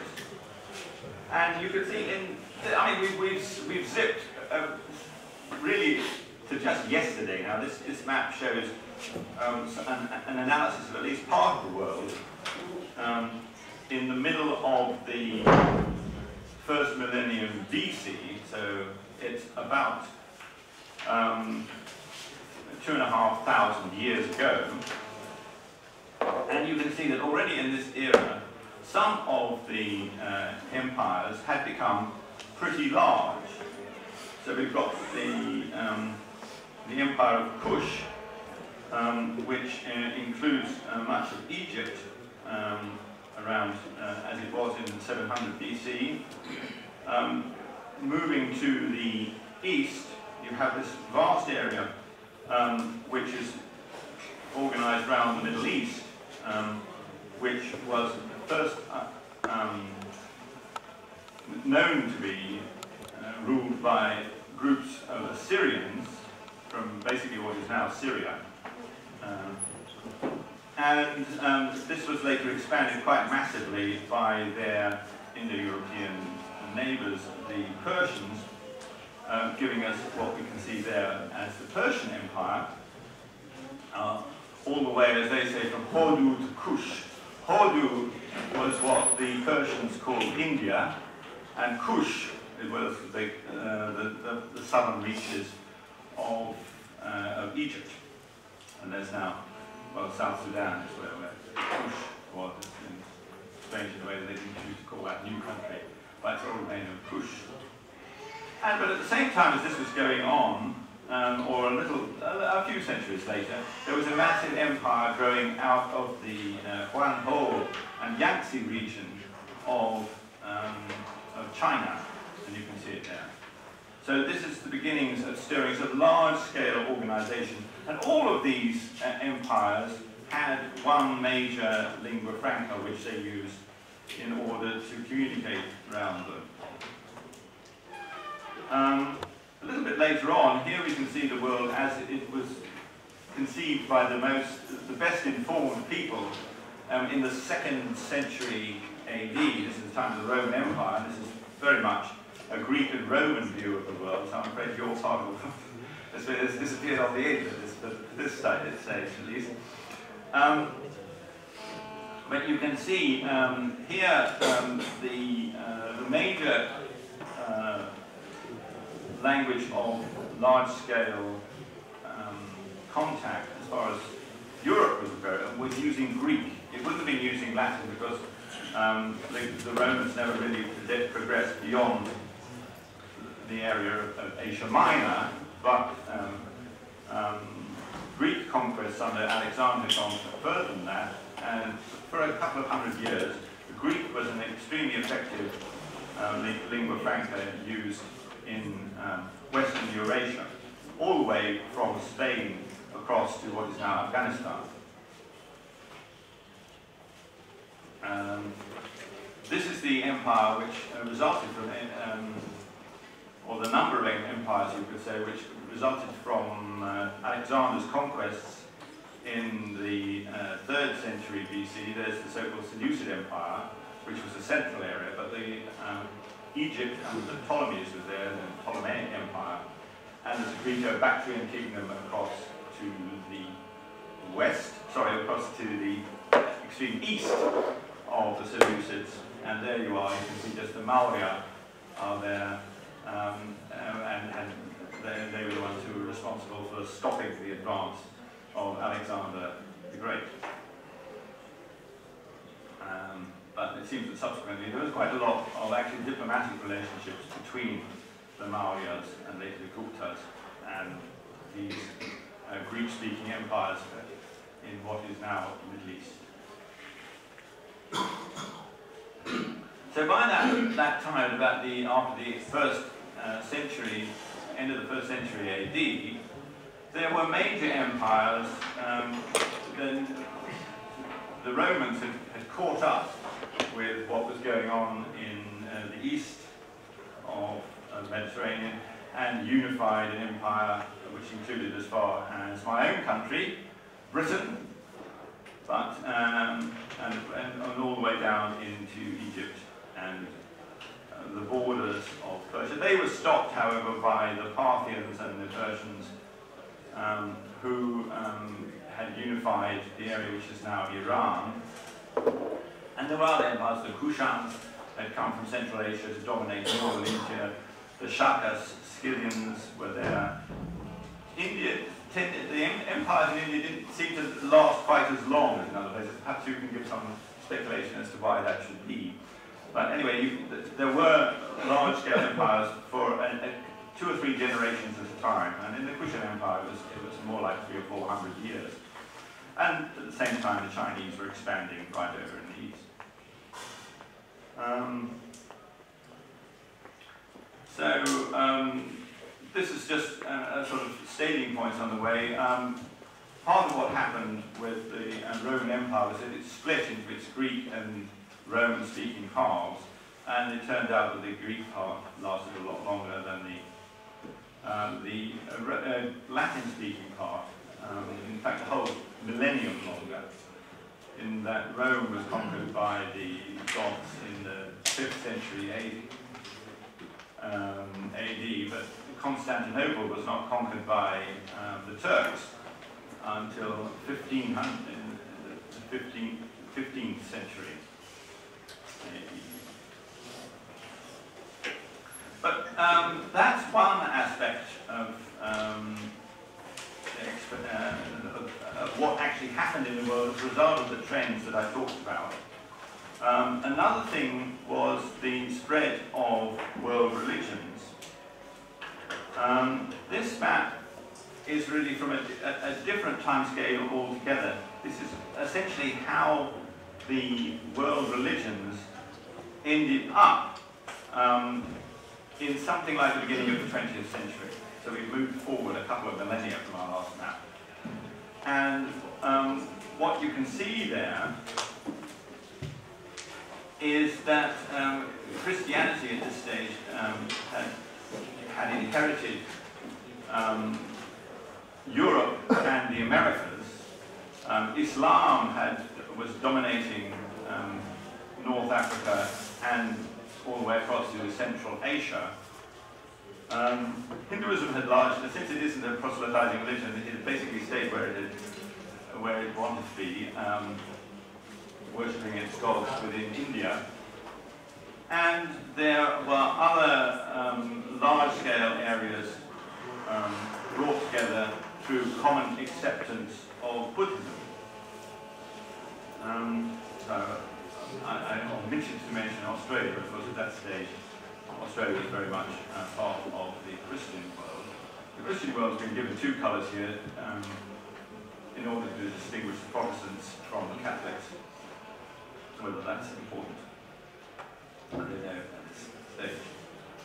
Um, but the languages, um, just, just as, um, by and large, areas with different um, religions will have different lingua francas.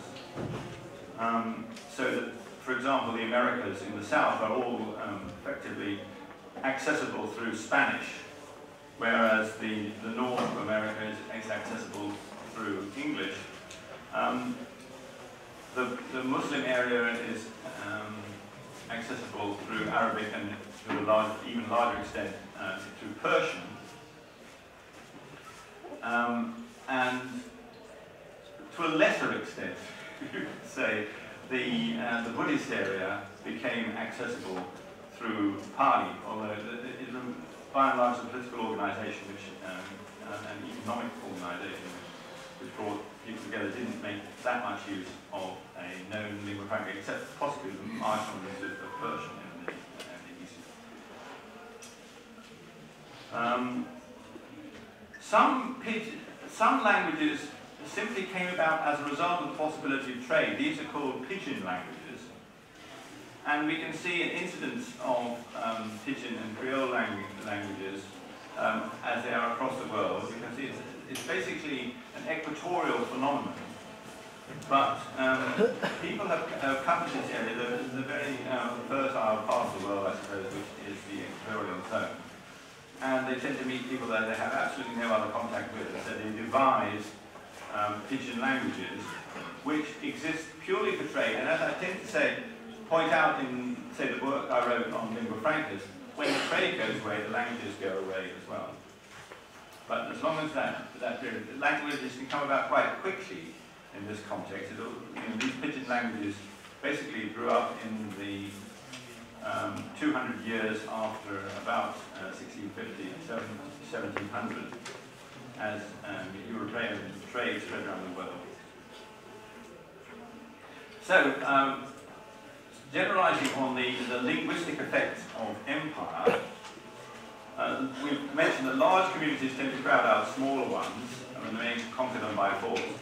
Um, class prejudice becomes associated with power, and so large groups tend to have larger uh, prejudice than the, than the smaller ones, which is something which is very relevant to the lack of respect for endangered languages in our day. And after the axial age, which is the age when the, the major um, proselytizing religions, um, which have survived, um, notably Christianity, Islam, and Buddhism, salvation religions may themselves come to be associated with power. And so the result of all this is that the, the little guys, the ones who have not benefited um, or have not participated as much as the others in those latter trends of humanity, of, of, of, falling marginal costs and bigger being better, the, the, the, they are left with uh, languages which are potentially endangered. Now you can say, well, obviously the, the um, rise of endangerment um, is a natural thing like everything else I've been talking about. You can think that anything that human beings do is natural. I mean, the, the way we got where we are today by being pretty, the least natural of the species around the world. At any rate, we sort of analysed why what happened had to happen, and that some loss is inevitable.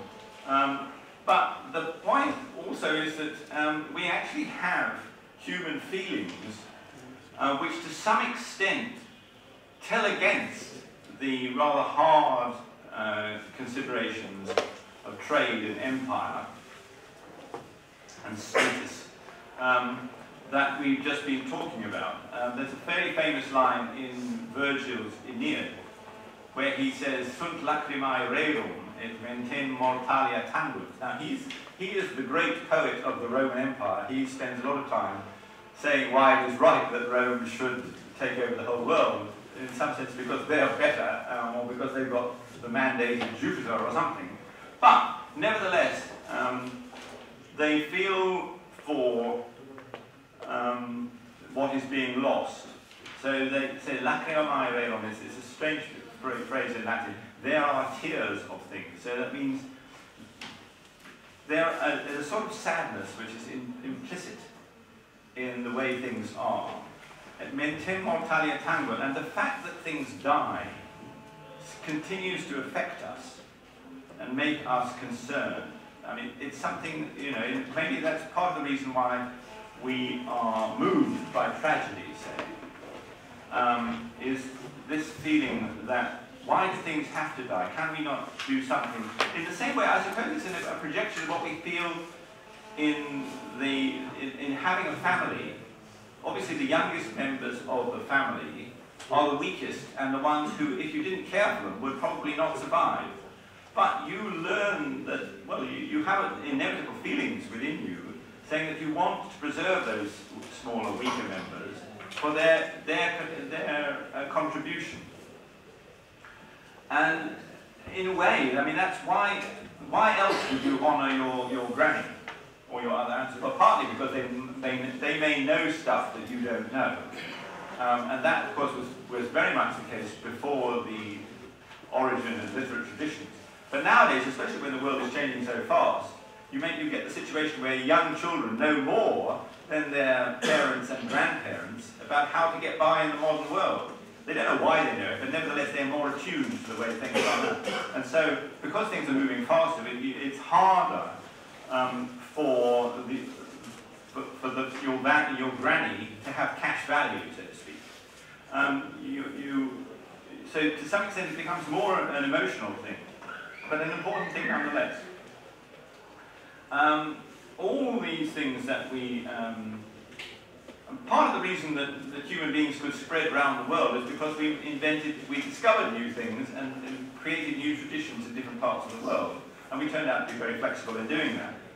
If we, um, having taken over the whole world, as we might by and large have now, um, we, we forget the skills that we had which took us there, in some sense that may be an endangering thing for the human race as a whole, we don't know. But um, the, the rising concern about things like global warming uh, suggests that in fact we do need to try and um, learn something from our pasts. So how do we go about organising peace so that people aren't going to um, bully each other into extinction? Well, the Roman way is through power. Um, we were reading it, Virgil again, and he says, Imperium sine fine dedi. This is Jupiter talking to the Roman uh, hero Aeneas and saying, I have given you empire without end. And sine fine can mean, it can mean without, in, in every direct, off, off, in every direction, um, like in the way that um, I think the, the Guptas talk of Dishantara Rajam. So that's um, empire to the, to the boundaries of, of what you can see in every direction. So that, that the, the, the, Latin equivalent of that is imperium sine fine. And he also, you give the right, pacisque imponere mone, so impose on people the custom of peace. So we'll make them, we'll make them do it because it's good for them. And of course it's good for us too. Uh, we want, humanity is better off if it is um, unified by force. And so another Roman emperor, about 100, 150 years later, um, put on his coins that he was Dominus Totius Orbis. He was the Lord of the whole world. And a little bit um, after that, uh, somebody who became emperor for uh, less than a year, because it was the year of four emperors, was 68 AD, um, put on his coins Pax Orbis Terrarum, peace of the whole world, peace of the cycle of lands. Um, not far away, in, well, far, not in the next major center to the east in India, um, the Guptas were talking of there being Chakravarti, someone who keeps worlds on its wheels, is keeping, keeps on rolling and creating what uh, a realm which is Sarva Bhauma, something of all the lands, a universe. Um, and, another way of, approaching peace, so that was uh, the way of force of arms. And another way of doing it is through of, sort of um, the Christian ideal, you could say, suffer little children to come unto me um, through love and serenity. And it's interesting that the same word, pax, which in um, Roman Latin means power coming, uh, unifying power coming through uh, strength, so it's got to do with empire, has in the Catholic Church become a sign of uh, tenderness. Pax vobiscum. If you wish that someone, you're not trying to bully them, you're trying to actually hope that they will grow like the younger members of your family. And interestingly, in, in one of the furthest domains of the Roman Catholic Church, Ireland, the word for a kiss is porg, which is derived directly from the Latin word pac, pacem. So, um, in this part of the world, you have the, tra the tradition of shanti, shanti, shanti. Um, which again is, is not a threatening thing at all, and uh, is, is, a, is a fostering sign of something in the world. But there is the old Roman maxim, si vis pacem bellum. And the idea is that in some ways people are more uh, likely to see their own interests as being uh, peaceable if you threaten them. If you show that you're not going to be pushed around, so they do better to um, be your friend. Hmm. So, um, one or two things which are going to come up, I think, in the course of this week, uh, here and there. Um, although empire is the great threat to diversity, nevertheless it is through empires that we've come to know how much diversity there has been. So that in, in, a way, as I was saying, you know, because we, we, this, this conference is the result of, of, uh, of, a civilization which organizes things, in large units, and so specializes um, particular interests. Um, the, the people who um, actually hold this diversity by speaking minority languages, for example, often are not are the ones who are least aware of how much diversity there is, and why would they care about that? They want to, to, to foster their own things.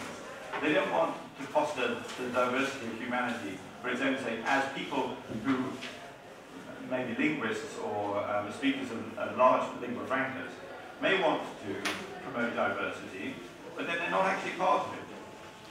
The people who hold the diversity, who speak the small languages, know their own intimacy and their individual heritage.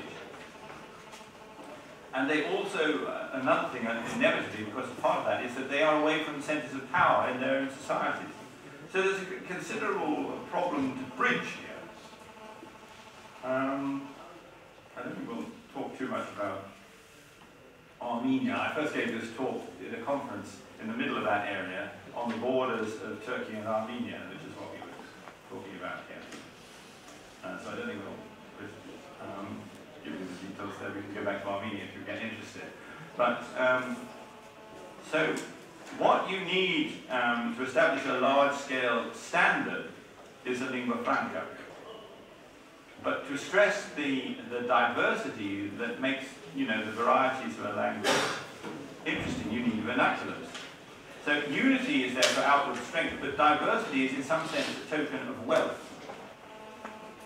So the uni unity uh, defends the diversity, ideally. And now I come on to the sort of plug for the Foundation for Endangered Languages. Um, we've been going for about uh, 20 years in a, in a, very small way, but um, talking to people at least, um, to, to, support, enable and assist the documentation, protection and promotion, that means the, in some ways the revitalization of endangered languages. Uh, and, well, basically we had a conference, this, this, is true, this was written, written three or four years ago, so it was only 18 annual conference at that stage. Uh, they're all in different parts of the world. They each on a different aspect of endangered languages. And uh, it, as I was talking about earlier this morning, um, you can see how those different aspects relate to each other through my little um, Sanskrit shlok.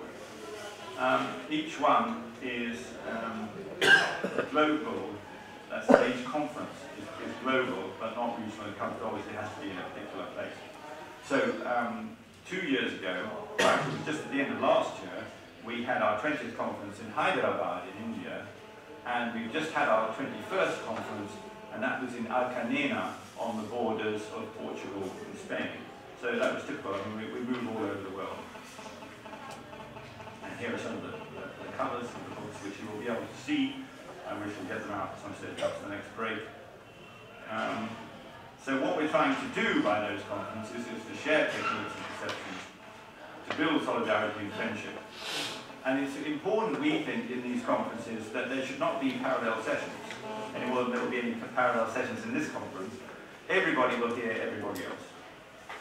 Um, so, some people don't like to think of their language as endangered. They think, no, we can stand up for ourselves. And in, in any case, it's, it's in itself shows a lack of respect for language and But in some cases, you have to um, well, one, one way of, of building an endangered language is not to accept it endangered, but to go on speaking it regardless. That would work, I suppose.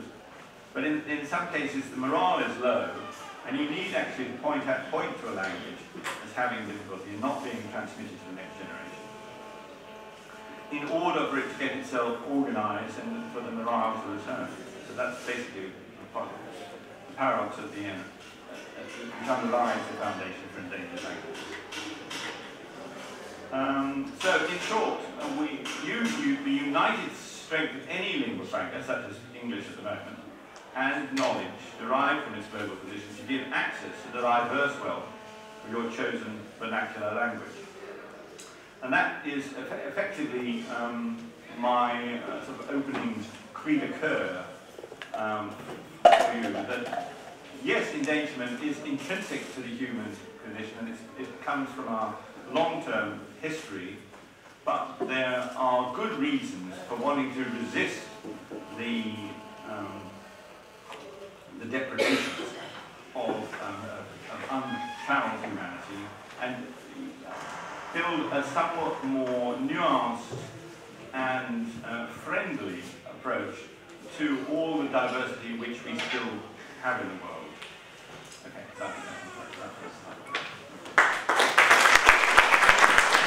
I've been distressed every morning to wake up and think that no, now I will hear more news of Brexit. and by and large, it's just a, a, a, a, national sorrow, it seems to me. But it, I suppose it's a national sorrow which um, is of, of, a part with, with uh, global political trends at the moment, which have to do with populism and um, a concern.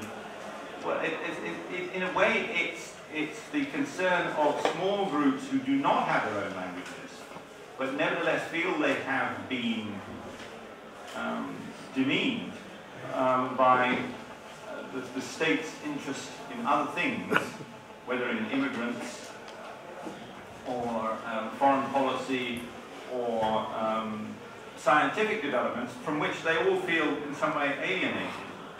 Uh, how we shall solve this, uh, to some extent we solve it by giving, giving a voice to the people who have not been, um, who feel that they have not been interested uh, or uh, have not been considered. But ultimately I think that the, the solution is going to lie in um, re-educating all of society so that we become um, more, uh, more careful and more, um, more concerned for each other. Um, the way we have organised the economic system at the moment, it has, seems to me, I don't know whether this is, uh, it strikes people in, in India as much as it does us, but that the, the very richest people get richer and everybody else gradually gets poorer and poorer. Even, I mean, you have all got all sorts of goods and things uh, and access uh, to, to wonderful properties which you didn't have in the past. But relatively, there is a polarization in society. Um, I, I, personally don't think that our Prime Minister is following the best path, but uh, no doubt she, she has bigger problems than I do in order to, to resolve these things. And she, not least among her problems is the Conservative Party of the United Kingdom. And by, by and large, we, we see that the, the way we are organised politically has made this problem worse rather than better. So the fact that we cannot actually run an election which gives us a, a, a representative result is another problem that we, a major problem for us within, within that area. Um, I, I, the, the, particular quote that you, know, you were talking about, that if you are see yourself as a citizen of the world, you are a citizen of nowhere, was the Prime Minister talking to the section of society which she is trying to represent. It's not the section of society with which she has spent her career representing, but she, as she assesses the political situation at the moment, she feels she has to make a somewhat aggressive statement on behalf of people who consider themselves historically to have been disadvantaged. But I don't think that the ultimate solution will find in, in that direction.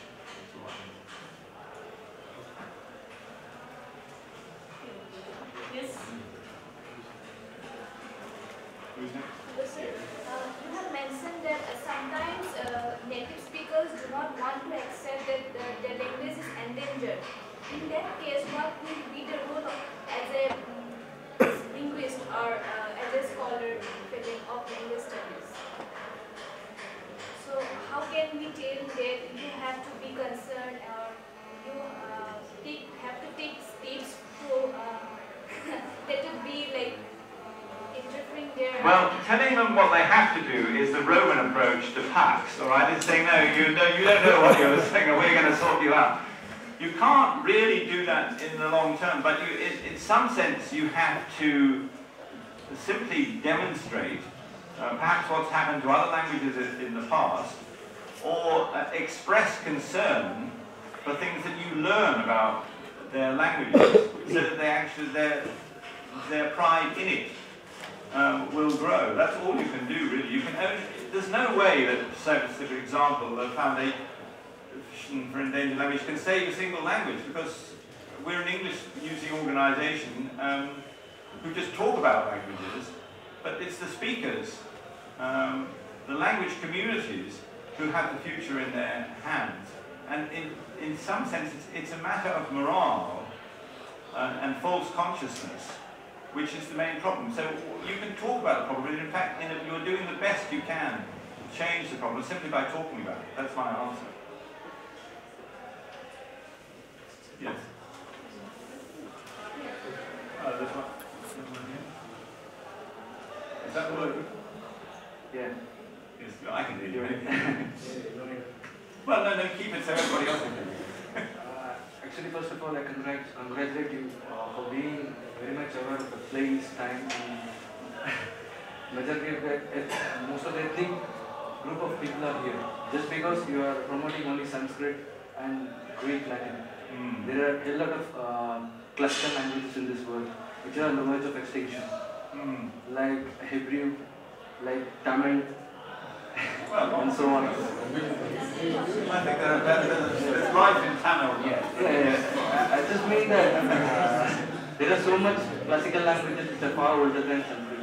Mm-hmm. We just speak about it. Because uh, it's very obvious that uh, language deals with the community and society.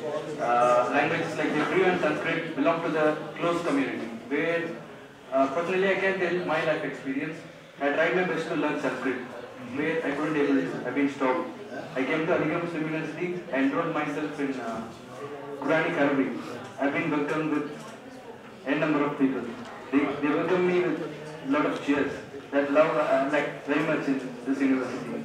So if you love your people to learn other language, there's no, there is enough for uh, enough for the language to grow centuries to centuries. No, uh, like no influence can stop it from learning. There is no chance for extinction. So I mean, you should have concentrated more on other parts rather than being optimistic. Well, yes, I mean, what you're saying is that you have encountered diversity through learning different classical languages, and Arabic and Sanskrit are good examples. I'm, I'm sorry that you found Arabic more welcoming than, than Sanskrit was. No. I, hope, I hope that No, will not I- be I- I don't, uh, I don't want to identify, uh, show my identity that I'm from uh, Dravidian background or from. Oh. But I love every language. Being a learner of Arabic, I love Sanskrit very much. Mhm. And Tamil too. Yeah. Okay, yes, right. Well, but the, I mean, the invention of writing was uh, something which came in big societies. It seems a lot of it had to do with large-scale administration, which was not necessary in small societies. And then it came to be realized that it was, it was a cultural um, too as well, that you could write down anything you could say, and then these, you therefore had a new way of preserving and enhancing literature. But, and, and that's a historic fact, and, and that just as you uh, got, get your knowledge of diversity through Sanskrit and, um, and Arabic, I got my sense of diversity to start with through Latin and French and German and Greek and Turkish and then Japanese and so on.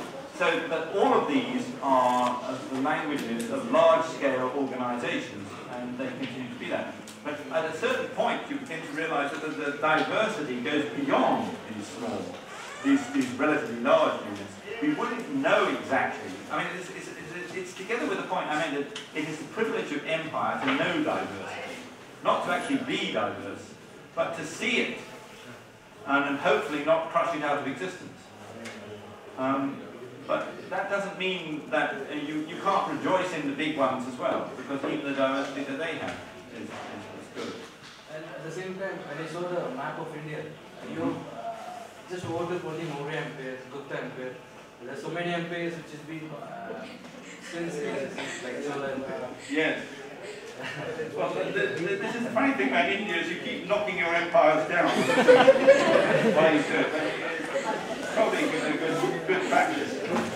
The thing, uh, India is a culture of diversity, right? There are so many sentiments have been heard. Yes.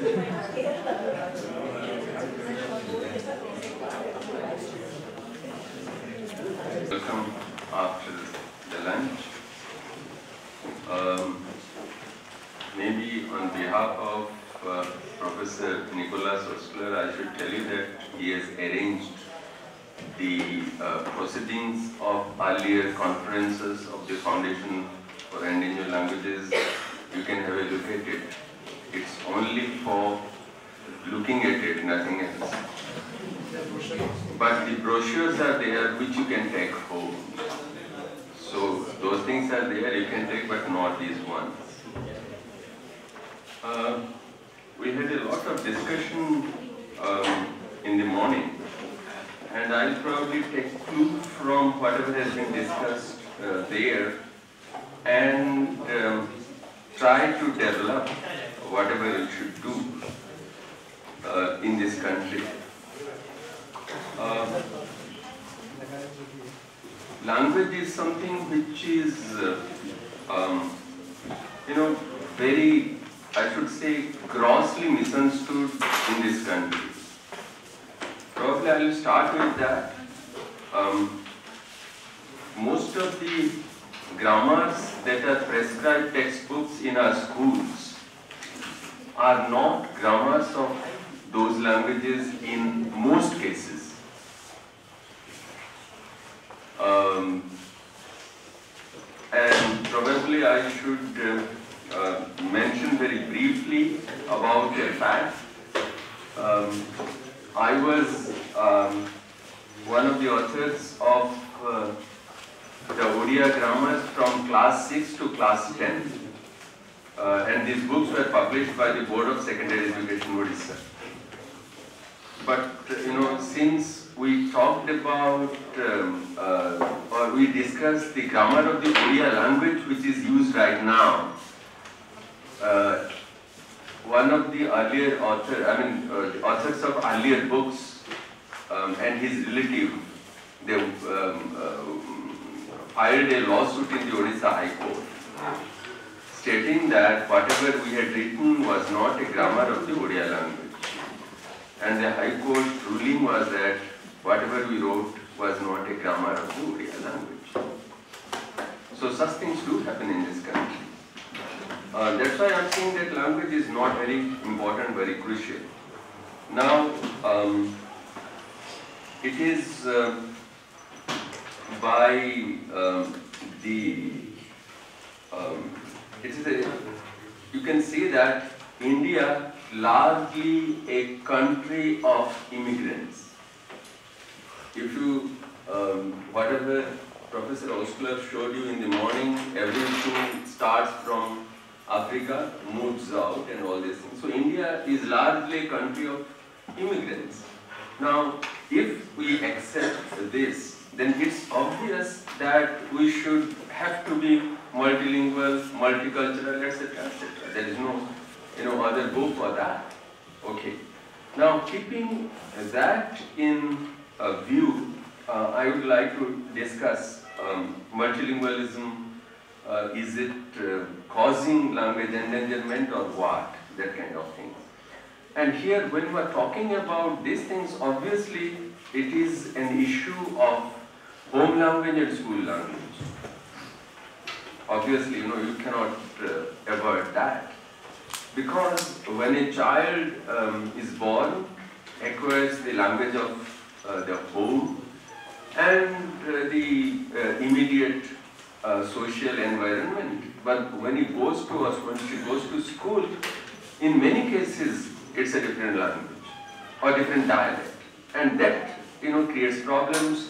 And um, um, I, of course, um, I'll probably discuss um, um, little later about the data, taking data from the census of India. Before that, I'll, I, whatever presentation I have, I'll do that. Um, India has been claimed to be a multilingual space since uh, prehistoric times.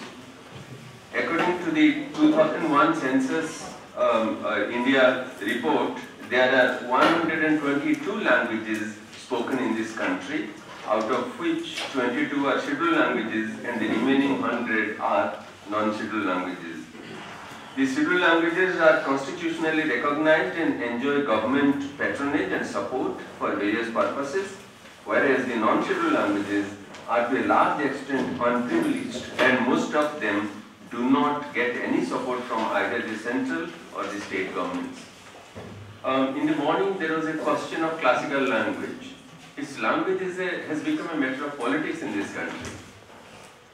Um, because, look, uh, languages are trying to be classical, to be, I mean, turn classical. So that kind of problem is happening. So we won't discuss all those things at all. Because in, once you start discussing those things, we are not discussing linguistics, we are discussing politics. And you saw that Tamil became the first classical language in this country, then Sanskrit, then Telugu and Kannada, then uh, Malayalam, and finally Odia, the language that I speak. So these things are happening. And Marathi tried very hard but couldn't become the classical language, and I know why it couldn't become, become the classical language also. So these things are happening. We won't discuss such things at all. Here we are primarily talking about language endangerment issues. Small languages will concentrate on those. According to Article 350A of the Indian Constitution, all Indian children are entitled for instruction in their mother tongues at the primary level, and I quote, it shall be the endeavor of every state and every local authority within the state to provide adequate facilities for instruction in the mother tongue at the primary stage of education to children belonging to linguistic minorities. Uh, and the President may issue such directions to any state as he considers necessary or proper for securing the provision for such facilities. It's a part of our constitution. The constitution states that every Indian child is um, uh, has a right to be educated in the mother tongue till uh, uh, up to the primary stage, uh, in the primary stage, class 5. Then Article 350B underlines, and I quote, there shall be special officer for linguistic minorities to be appointed by the President. Two, uh, it shall be the duty of the special officer, uh, officer to investigate all matters relating to the safeguards provided for linguistic minorities under this constitution and report to the president upon these matters at such intervals as the president as the, as the president may direct. And the president shall cause all such reports to be laid before the, each house of parliament and sent to the governments of the state concerned. There is nothing like that I have heard happening in this country. Nothing uh, like this. Now, uh, one more point I must mention here that uh, the Commission for Minorities, it should also deal with linguistic minorities. But this commission primarily deals with religious minorities, not with linguistic minorities. What it means is that languages are not um, a resource in this country, not treated as a resource in this country. If we are a multilingual country, we must emphasize languages, which is not happening. It's evident from these provisions that India has to promote multilingualism with all sincerity, but the ground realities are different.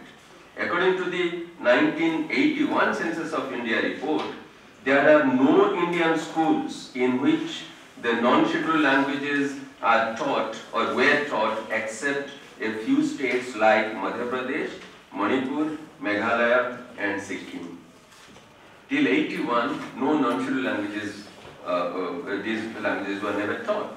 The tribal children who speak a minor or a tribal language usually go to those schools where the state language uh, is used as a medium of instruction.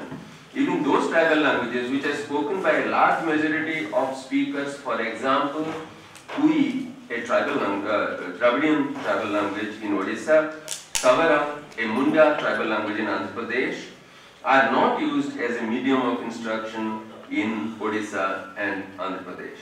And most of the tribal language uh, speaking children show poor performance in various school examinations. Cummins, Skutna Kangas, Toukomaa, and Skutna Kangas have demonstrated a close relation between high level of proficiency in the home language and academic success in the school language. Because of the existing gap between the home and school languages in India, most minority language speaking children are deprived, are deprived of the benefits of educational facilities provided by the government of India. Scholars like Carrasquillo and Rodriguez have argued, I quote, transferability of skills from one language to another appears to play a critical role in second language acquisition. This is because there exists a transfer of universal linguistic characteristics and knowledge acquired from one language to another, unquote. These are very relevant for the following recommendations of the National Research Council. Um, I am a little reluctant, uh, you know, to quote, but I must quote that. If language minority children arrive at school with no proficiency in English, but speaking a language for which there are instructional guides, learning materials, and locally available proficient teachers, then these children should be taught how to read their uh, native language while acquiring proficiency in spoken English. Then subsequently taught to extend their skills to reading English, unquote. You know, these are all, this is an American um, uh, uh, vision. But I'm, that's why I said I'm reluctant because India is a multilingual country, America is not. And for you, uh, those of you who know, I have heard it from one of my uh, friends uh, who told me a joke, of course, uh, if you know more than two languages, you are multilingual. In the American context, I am saying. If you know two languages, you are bilingual. If you know one language, you are American. So that is the definition of American, so that kind of thing. Um, so here see what kind of thing is happening. But the norm in uh, India today is extremely disappointing. In the so-called English medium schools, the students are usually discouraged and punished if they are found by the teachers speaking in the scheduled languages, not to speak of the non-scheduled languages. See, it says that if a child comes with a language, that has to be promoted, but these things are not happening at all. Cummins and Swain have proposed two types of language proficiencies for two di uh, different purposes. Of course, many of you may know that, but even then I should mention it. That is basic interpersonal communication skills or BICS for day-to-day -day communication and cognitive academic language proficiency or CAL for academic communication. It needs to be mentioned that English vocabulary has made an inroad even into the normal communication in villages in India. Most of the Indian language programs, including Hindi programs on television, frequently code switch between the Indian languages and English. If you watch our uh, uh, the religious channels, you will see what kind of English uh, they are using. Many, many English expressions are being used even in our religious uh, channels which uh, um, uh, televise religious programs. As a result, this pattern is followed by most people in the country, even the top political leaders who are accepted as role models by many uh, young masses um, uh, are noticed to be doing the same. As a result, the distinction between BICS and CAL has diminished and it is certainly leading to undesired results in academic achievements. Though India has officially implemented the three language formula that includes the first language of the uh, community, Hindi and English in the 1960s, the multilingualism figures among uh, um, the, uh, let's say, various language speakers in this country is, uh, are very disappointing. Uh, I'll come to that um, after a while. All these certainly require a fresh look um, uh, at the linguistic situation in India, which does not have a proper language policy till date. Even if you do not know which languages are easier to learn for which language speaking communities, Stern's statement is very relevant here and I quote, uh, the learning uh, of a second language must be regarded as a necessary part of total personality formation in the modern world. Since it should enable a person to live and move freely in more than one culture and free him from the limitations imposed um, by belonging to and being educated within a single so, social, single cultural group and a single linguistic community. Unquote. The slogan in India and in many other countries in the world should be what? Parker, 1961, the then Secretary of the Modern Languages, uh, Languages Association of America stated. Again, I am reluctant, but I have to quote him. He is an American, I am an Indian, but I am quoting him, I have no other go. And he said, one language makes a wall. It takes two to make a gate. And uh, in fact, I would I have extended that uh, in one of my recent talks somewhere. I said that three languages make a door. So, you know, gate is not important for us. Gate, door is important so that we can go inside, stay home, so that kind of thing. So, three languages make a door. So, in this country, we must talk about multilingual education. Now, uh, uh, today's uh, talk is multilingualism and language endangerment. You know, this is uh, actually mostly a Western view. Because you must have seen that if you look at the books and papers published by the Westerners, you would say that most of them um, talk about bilingualism. Hardly you will find multilingualism here and there. Mostly bilingualism. And so far, whatever I quoted, everything is bilingualism only and nothing else. But in India, we must talk about you know multilingualism. Um, the Western, the so-called advanced societies, I'll tell you an example where uh, language endangerment has taken place not because of multilingualism or bilingualism, not because of that. According to an estimate, uh, two, 250 to 350 indigenous languages before were there before the arrival of the European um, immigrants um, uh, in uh, the United States of America two centuries ago. But at present, 155 out of the 175 Native American languages are in the endangered uh, category. I'm putting again cross, I'm not giving you those details. Then the European Union declared 2001 as the European Year of Languages and the desired goal was to lay the foundation for a multilingual Europe.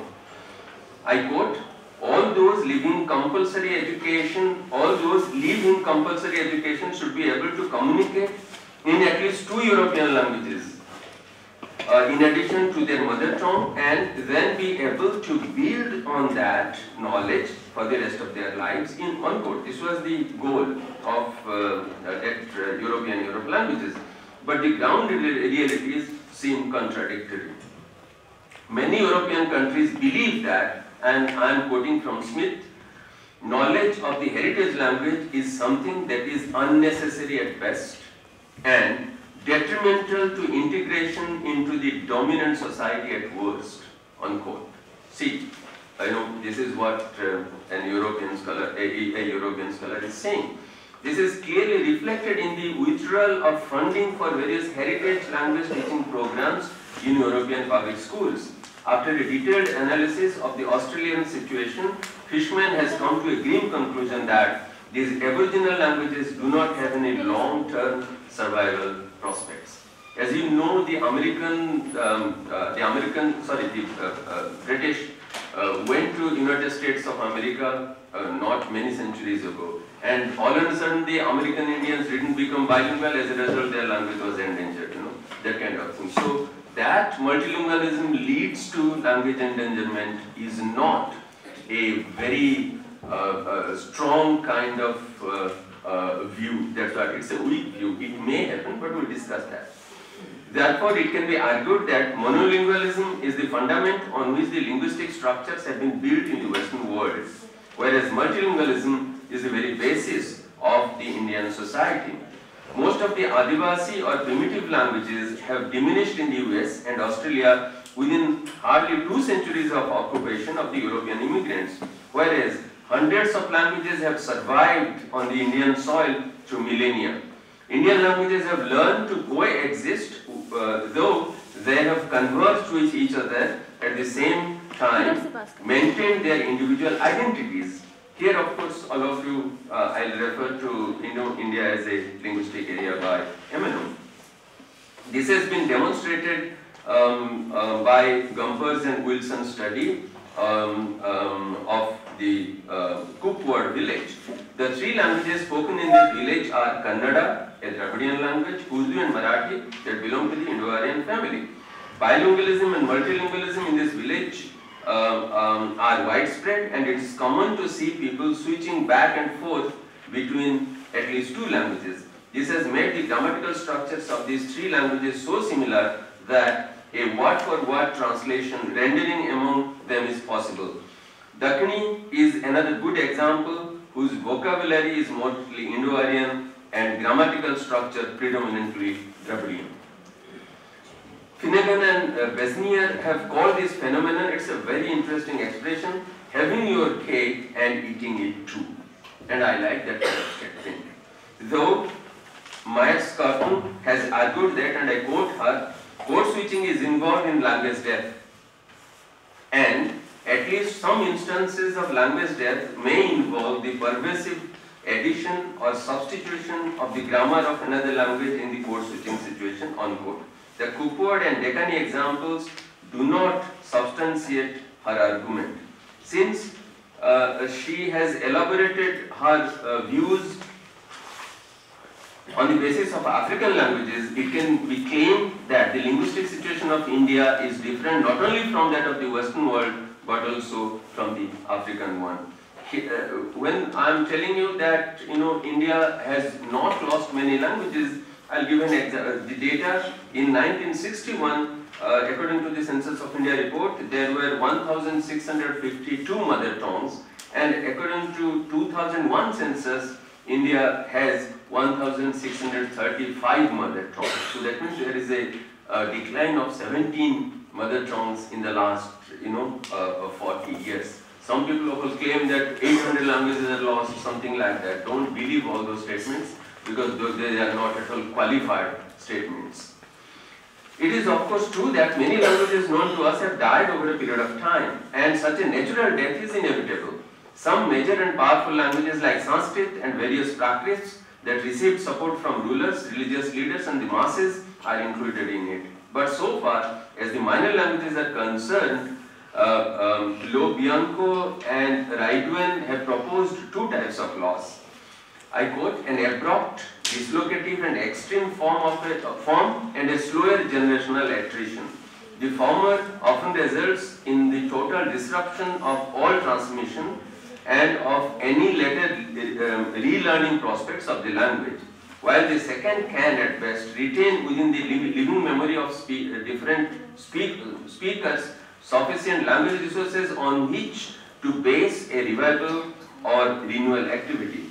Uh, the former may be called language loss by rupture and the latter language loss by attrition, unquote.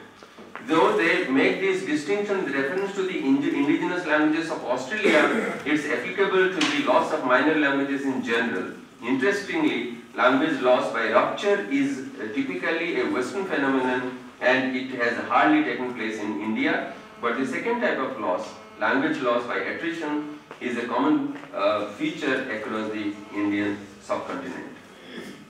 It's interesting to note that when uh, the Western world has been quite enthusiastic and active in protecting the small and endangered languages, um, um, no, has been um, enthusiastic in protecting endangered languages. In his general introduction to the Encyclopedia of the World's Endangered Languages, Christopher Moseley states, and I quote him, in the past decade leading up to the publication of this encyclopedia, there have been various initiatives to foster awareness of the accelerating rate of the loss of languages. The UNESCO Red Book, which appeared in 1993, was a pioneering effort in this direction. Then, in 1995, the University of Tokyo set up a clearinghouse for endangered languages, the emphasis being on recording newly discovered instances of disappearing languages rather than taking action to preserve them.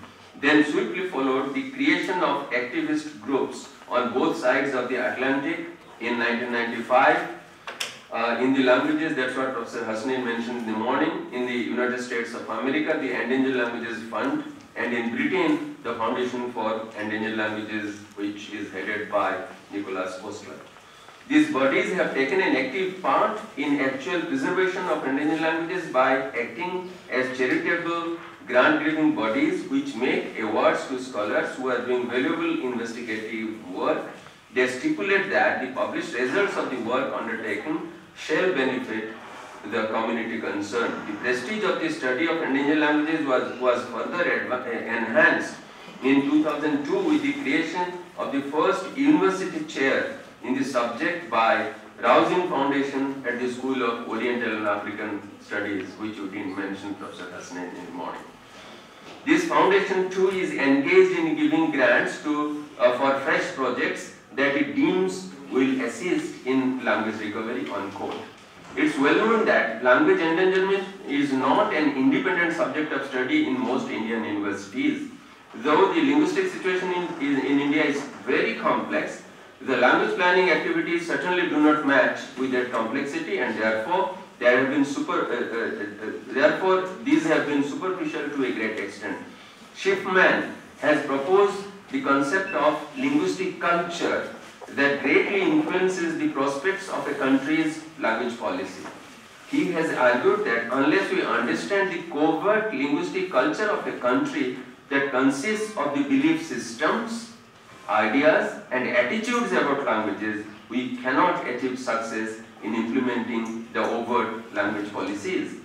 I am not aware of any detailed study conducted to discover the covert linguistic culture of this country. So it's natural for the overt language policies to lay hidden in the files of the government offices. We know that the Indian society is in an unprecedented flux and transition and a large num number of Indians belonging to different strata have been making efforts to join the national, international mainstream which has been radically affected by the global economic changes. As a result, the good old joint family structure has broken down and nuclear families are the trend now. All these people live in houses and the concept of home has become a thing of the past. They are uprooted from the homeland and have left the home language behind. I'll quote Moseley again. I quote, linguists who are outsiders must be sufficiently well trained as anthropologists, sufficiently observant and methodical as scientists, and sufficiently compassionate and sensitive as human beings to be able to tackle both of these problems heads on. When a language is on the threshold of extinction, its speakers may well be demoralized in other non-linguistic ways as well.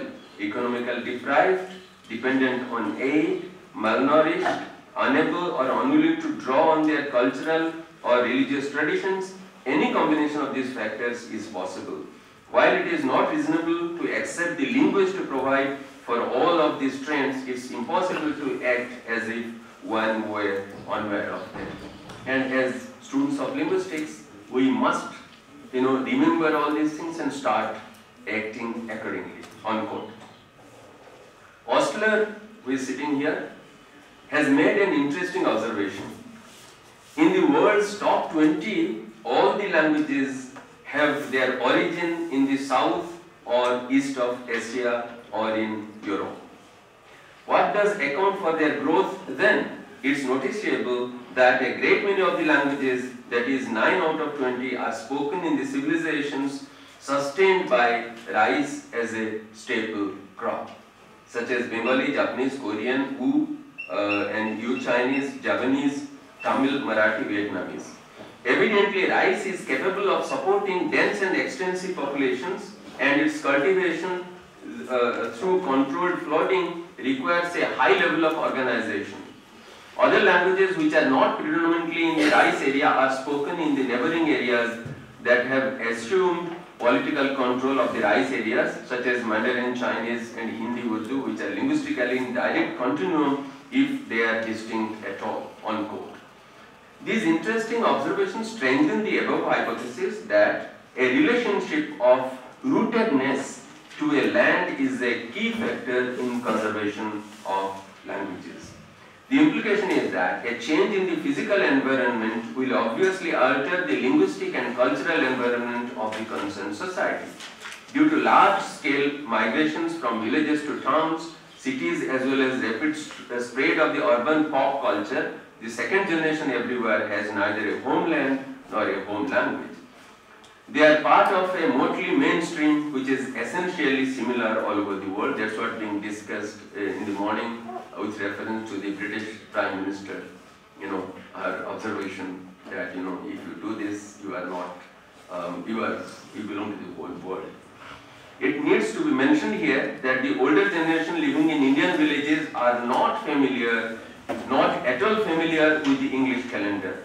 Their life moves according to the traditional Indian calendar which most of the Indian, more modern citizens do not know. I assure you, if you ask most you know, uh, citizens, highly educated citizens, to name the 12 months um, uh, according to the Indian ca- calendar, they won't be able to do that. And I have tried and I have failed. Um, another important thing, um, um, but many of these, the present generation Indian citizens find it difficult to name five flowers, five fruits. And a lot of students are sitting here, my students, and I asked them many questions. Can you name five flowers? They start, you know, recalling then uh, a small gap after a few seconds gap after first one, second one, third one, so that kind of thing.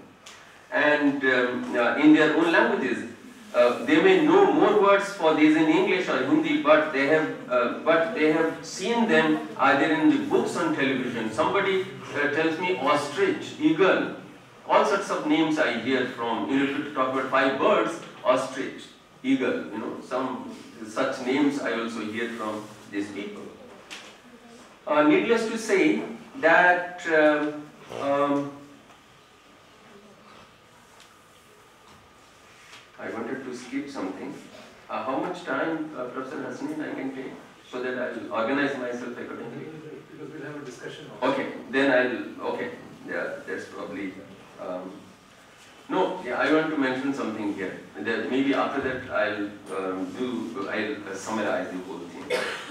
Um, all of you know about uh, Benjamin Lee Whorf, but I want to quote him and uh, discuss in detail what he has done.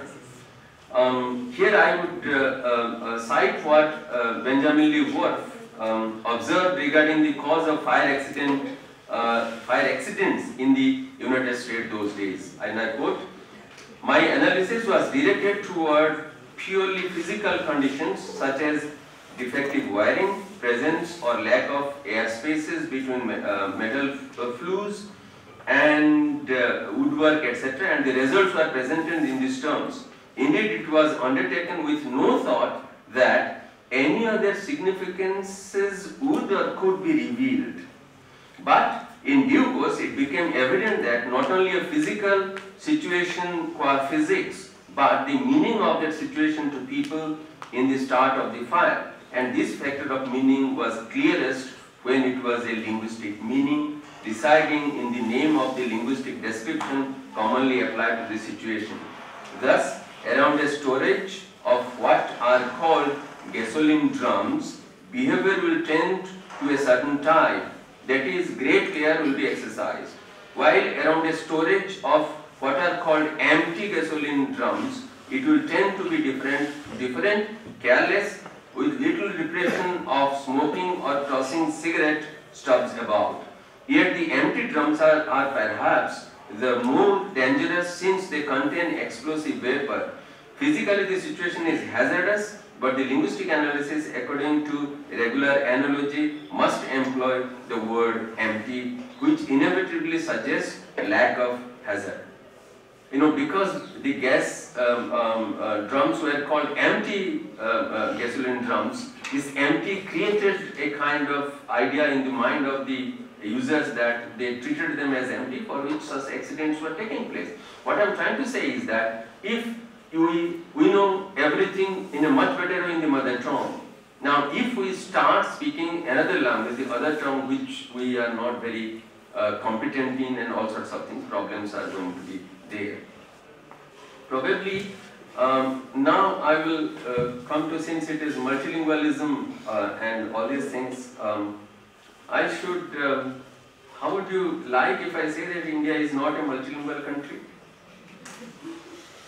Uh, this is of course Professor Imtiaz Hasnain has heard it very recently, I'm sorry for that, but for him nobody else has heard that. I have been now very um, uh, vociferously arguing that India is not a multilingual country because uh, when you talk about multilingualism, you definitely, uh, uh, a person who knows many languages is multilingual. But um, that is not the case in the case of India. I have got the data. Uh, it's from 2001 census data. I'll give you the bilingualism and trilingual, uh, tri- trilingualism figures among different you know, speech communities. Uh, Hindi, the most powerful language of the country, the trilingualism figures are 2.13%. It means 98% of the Hindi speakers are not trilingual. Um, come to bilingualism figures, 11.95% of the Hindi speakers are bilingual. It means 88% of the Hindi speakers are not bilingual. Come to Tamil, which is always competing with Hindi. 3.19% of the Tamil speakers are trilingual. That means 97% of the Tamil speakers are not trilingual. Come to bilingualism figures, they are little better. 21.51% are bilingual, that means 80% of Tamil speakers or 79% of Tamil speakers are not bilingual. Then of course Bengali is the third one, Bengali has to compete with Tamil also. Now, because they are only, you know, single point uh, kind of, uh, it's a single digit trilingualism figures. Uh, among the Bengalis, it's 6.52 Nazarene. So 6.52% of the uh, Bengali speakers are trilingual, that means 94% or let's 93% are not trilingual.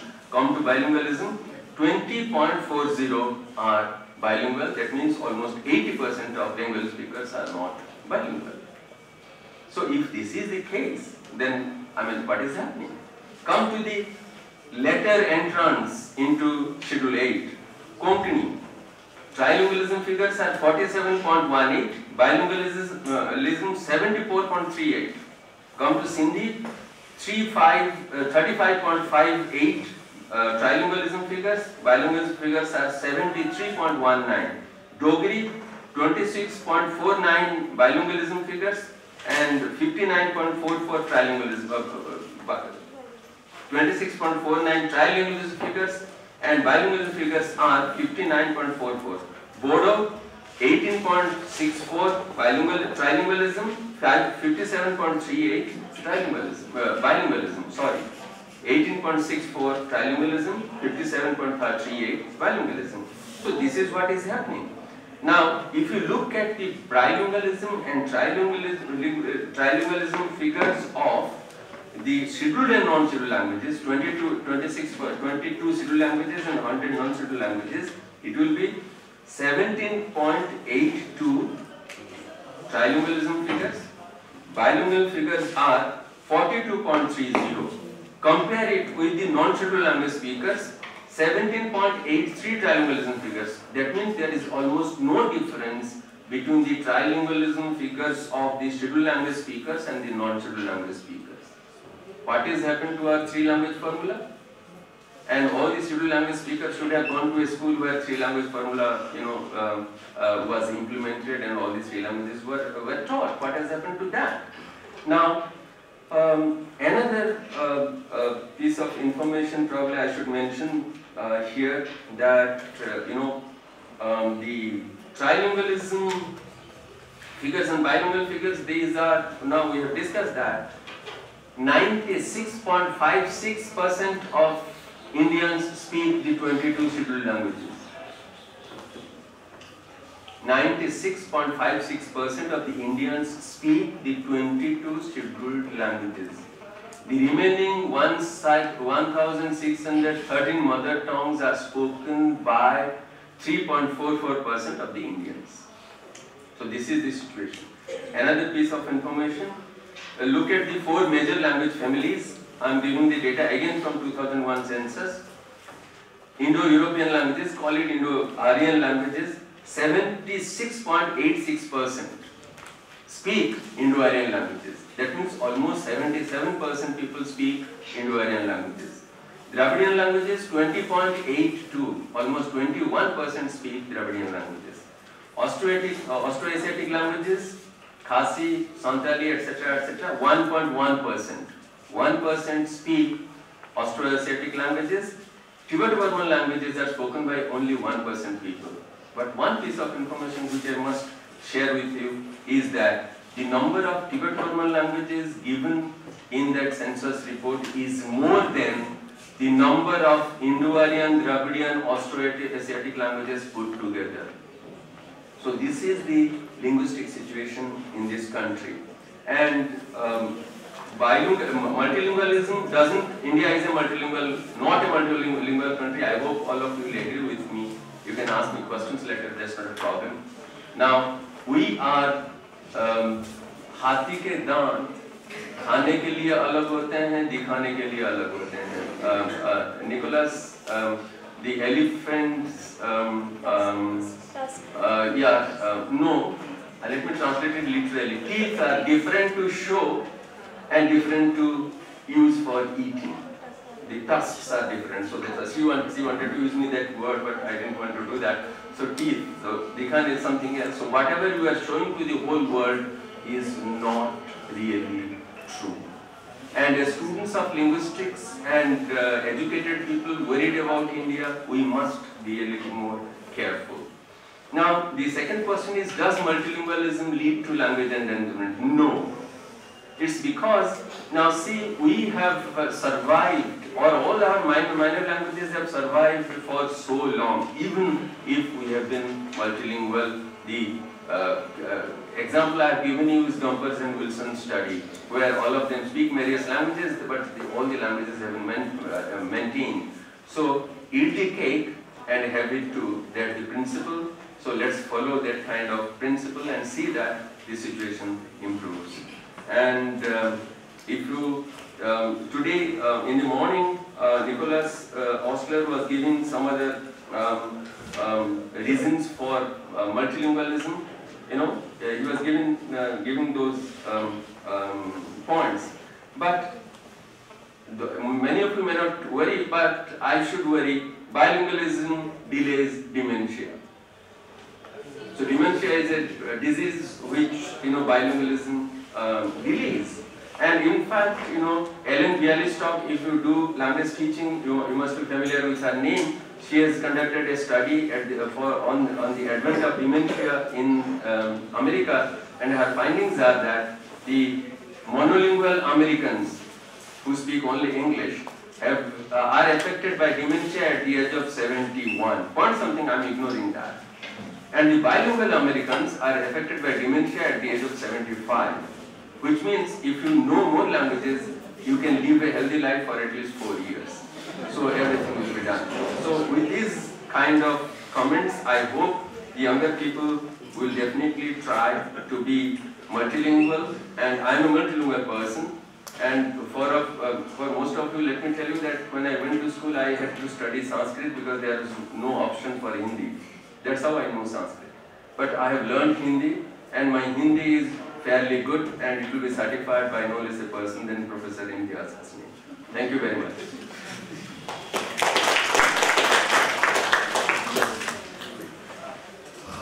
Any questions? Yes, there Yeah, yes. Uh, so you have uh, given out the census data. For example, I take uh, Hindi, because that's more uh, prominent example. Uh, for example, uh, when you say that a Hindi speaker is not a multilingual, okay, I think you're making essentially a contradictory statement when Hindi encompasses more than 56. 49. 49, okay, yeah. More and one of them is Hindi. And one of them, and one of them is Hindi, okay. Others is also included. There is also another category there. There is also another category which I don't know what it is, uh, as per the census. But 49 plus others and one of them is Hindi. Let's, for example, take a speaker uh, somewhere from Bihar who is probably a Magahi speaker from the Patna region. Would know Magahi very well at home. Would speak Magahi very well. Would also know Hindi and would have also, if gone to school, know some level of English. Right? But I unfortunately have a census. Would club Magahi along with Hindi. So basically our bilingualism is rooted out here, right? We have just cut it out. We have we are denying that there is a bilingualism and multilingualism existing in this case. And again, secondly, uh, this is a language and dialect debate that is very prominent. I understand that. Yeah, Maithili and Hindi. There are many things that people can go on pointing out. So, in that sense, I would say bilingualism may be a rarity. I agree with you.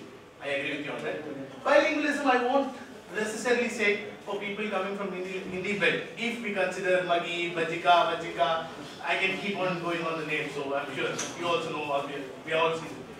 So do we consider them or we just don't? We just go with the what the state says? Uh, I fully understand whatever you are saying. Yeah.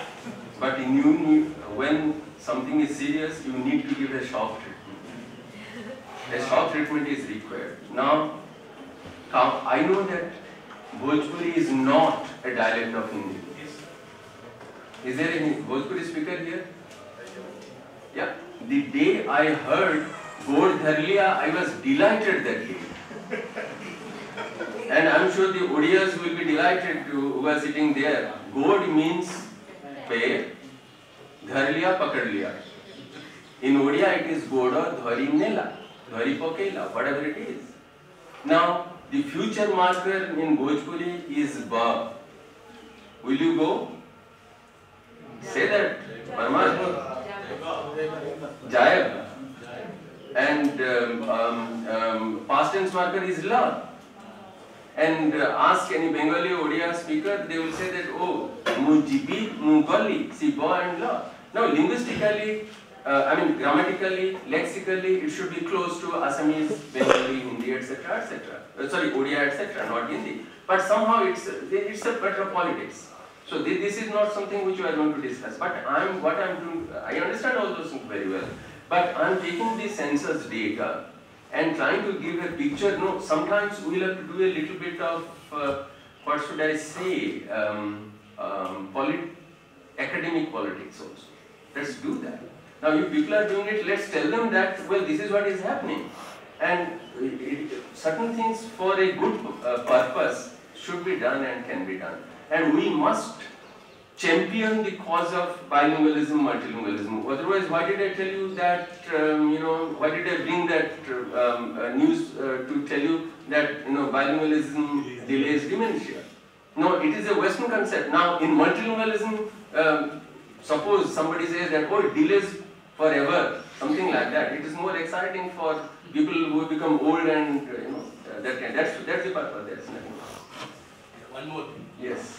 So the point uh, I believe that you're making that we should make an academic politics is in reference to the failed model of a three-language formula, right? Yes. Okay. So in this context again, the trilingual figures, as we move along the table from scheduled towards non-scheduled, we see that the trilingual figures also keep on increasing, and the bilingualism figure also. So now that's a very telltale sign of the of one thing I would call as failure of the uh, the three-language formula, because where there is no three-language formula being implemented, these people are already trilingual or bilingual. But where there are trilingual form, three-language formula implemented, we are not actually resulting in multilingual or bilingual speakers, right? Because the very the very fact that I understand that. Huh? Uh, yeah, I understand that. Some of you maybe uh, may not uh, um, be aware of the fact that three institutes were in charge for implementing the three language formula in this country and thousands of crores of money have been spent. Central Institute of Indian Languages for promoting mother tongues. Central Institute of Hindi, Kendriya Hindi Sansthan to promote Hindi. And Central Institute of English, not English and foreign languages to start with, to promote English. So this was the um, case. But now see, the situation, three institutes were in shock. But nothing, things have happened. Now we must analyze where things have gone wrong, why things have gone wrong. So that is the way. Unless we analyze, then nothing can be done. I, I would to say how things are working when there is no regulation in the non-scheduled groups. Uh, because the functional multilingualism seems to be very robust. I would say that because I own my experience and uh, coming from a Tamil speaking background, to be very clear, we don't have a three language formula. I know two language formula. Yeah, two language formula seems to be working for us and then I'm sure No. more, more, more uh, 2011 census would have more data. No, it's okay. No, two language formula shouldn't work for anybody. If it work for Tamil, it should work for Odisha, it, it should work for, you know, Andhra Pradesh also. And uh, look, I um, deal with students from various states in uh, um, our university. Most of them can read, write Hindi, cannot speak well at all, understand a little better. And uh, if you talk about English, mashallah, what can I say, tell you? English also equally problematic and except those who come from the so-called English medium schools and their spoken English is much better. But when it comes to writing, Again, there are many problems, not one, many problems. If you want, I can show you the answer. I have evidence from their answer scripts also. So all these things are happening. Yeah? Sir, I have a couple of observations to Yeah. make. Uh, you have, you, first of all, I would congratulate you for the wonderful talk, lecture, that you have. So enlightening. I was in US for last 15 years, and uh, in most of the universities, if not all, they have a foreign language requirement for every student. So if a person from Chinese background, they know Chinese, they come to the US, which they already know English, and they are learning a foreign language, like for example Hindi. So the point we are saying like uh, monolingual or bilingual, they have realized the importance of the multilingual or trilingual, and now most of the university have this phenomena that uh, they introduce, and every land, every student, every person has to learn a foreign language. In that case, maybe some of them are bilingual, but most of them has become trilingual, or what we call multilingual. Situation. So in US, the situation is getting changed also.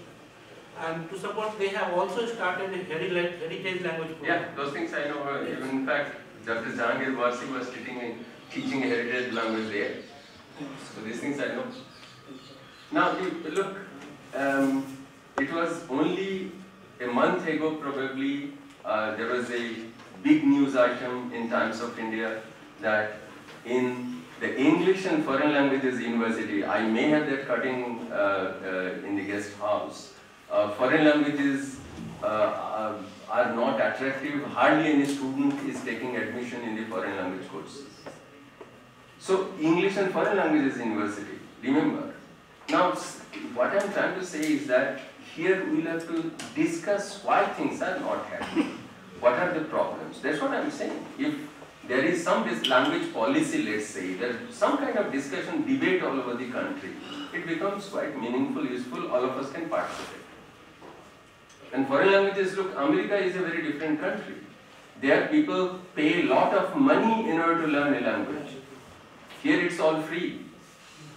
And uh, a, um, a mother tongue teacher, let's say a person who teaches Odia need not have any training in Odia. And when that person is on leave, the mathematics, science, any teacher will be asked, can you go and take the class? Such things are happening. That's why I made a statement that most of our grammars are not grammars of our languages. I'll give an example. I'm sure some of you may have a doubt. Um, uh, I, my students have heard that. Uh, how many, um, is there a Bengali speaker here? Uh, uh, how many uh, uh, numbers in Bengali? Two. What are those? Singular. Okay. Say, um, I go. Ami jabo. Uh, no, I will go, you are saying. No, it's okay. Ami jabo. It's okay. I will go. We will go. Okay. Ami jai, amra jai. Okay. Where is the difference in the go? I go.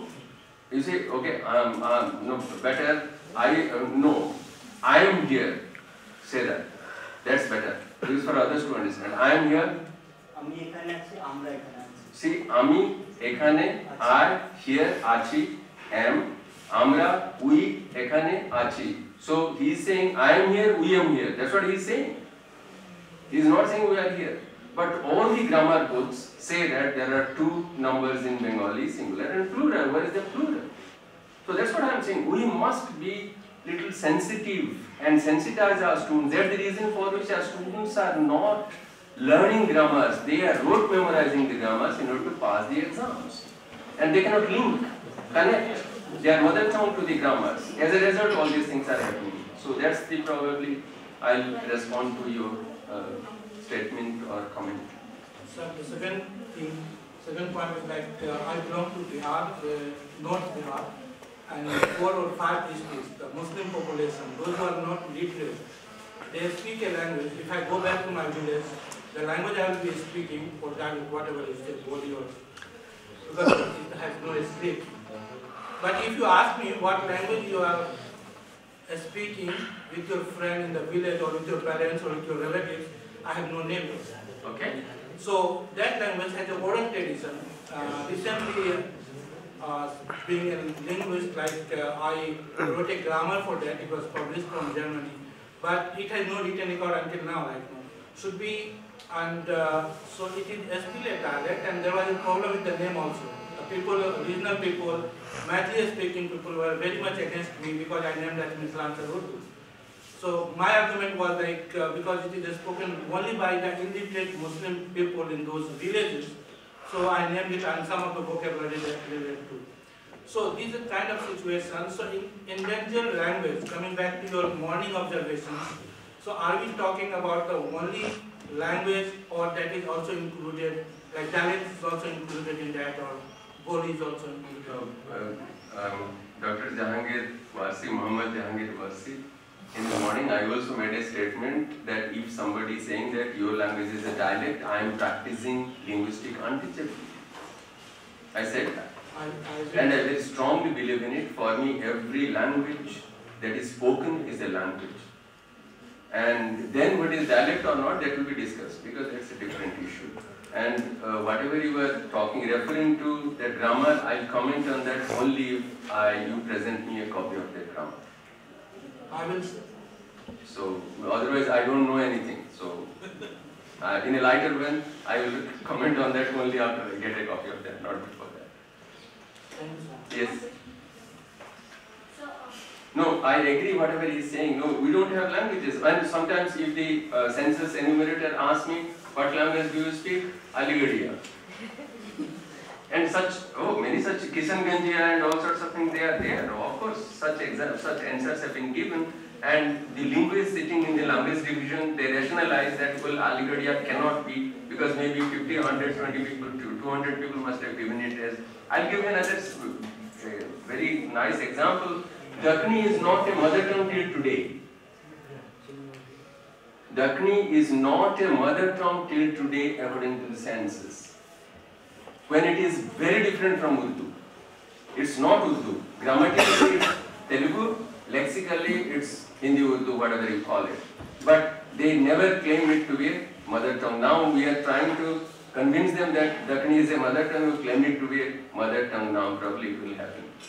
Yes. Yeah, you were asking. Uh, suppose uh, if I am a semi-speaker of three languages, will I be uh, called as a multilingual? No, why semi-speaker? Why should you uh, take pride in saying that you are a semilingual? No, don't say that. No, we um, must try to, uh, one, probably, I don't know, can I take a couple of minutes? Look, we always go by our prejudices, assumptions. Um, a child acquires the mother tongue reasonably well within two years. Around the 12th month, the child speaks the first word, plus minus two and two and a half months. By three years, the child is almost a normal speaker of the language, can communicate easily. And not only one language. If the child is, the father speaks one language, the mother speaks another language, or the home language is one language and the outside language is one language, the child picks up both the languages very well. And you can refer to Leopold's study of his two daughters, Hildegard and Karla, and the four volumes that he has published, which are, uh, I don't know, you know, they must be, uh, Leopold must be given equal credit as uh, uh, Piaget, the same kind of study he has done because um, uh, Leopold used to, uh, um, he and his wife used to speak German at home. So uh, both the girls were exposed to German at home and you know English outside. And when they went to Germany, uh, Hildegard picked up Germany very well, uh, German very well. When they uh, went back to America, again, you know, she um, um, um, forgot German and started speaking English. But the second girl, um, Karla, uh, she was um, she was a passive bilingual. She knew um, very well uh, English, but no German, but she was not speaking. And when um, at the age of 19, she went to Germany and became almost a fluent speaker of German. So if you have good exposure, so that will be very useful. Why should you say semi-speaker of such a language? No, there, there is no point. Let's say that, you see, nobody has defined bilingualism quantitatively. There are maximalist definitions and minimalist definitions kind of thing. If you look at uh, Bloomfield to whatever other people, you'll see that the kind of difference. So let's not get into that. If you acquire some language relatively well and use it, that's perfectly all right. Yeah. Told that the concept of classical language is all about politics. Yes. Uh, I ju- just thought something, making somewhere, somewhere, just got some imagination. So now I'll say some statement, imagine the politics. I'll say some statement. Okay. Uh, you also quoted that most of the rice eating states in India. No, I quoted him who is sitting here. Okay. Uh, at the beginning, before even before that. Uh, yeah. Most of the rice eating states in India are more concerned about their uh, own language. So I was quoting him actually. yeah, tell me. Okay, try linking this one with politics, with current uh, political scenario, so you come to know the reality.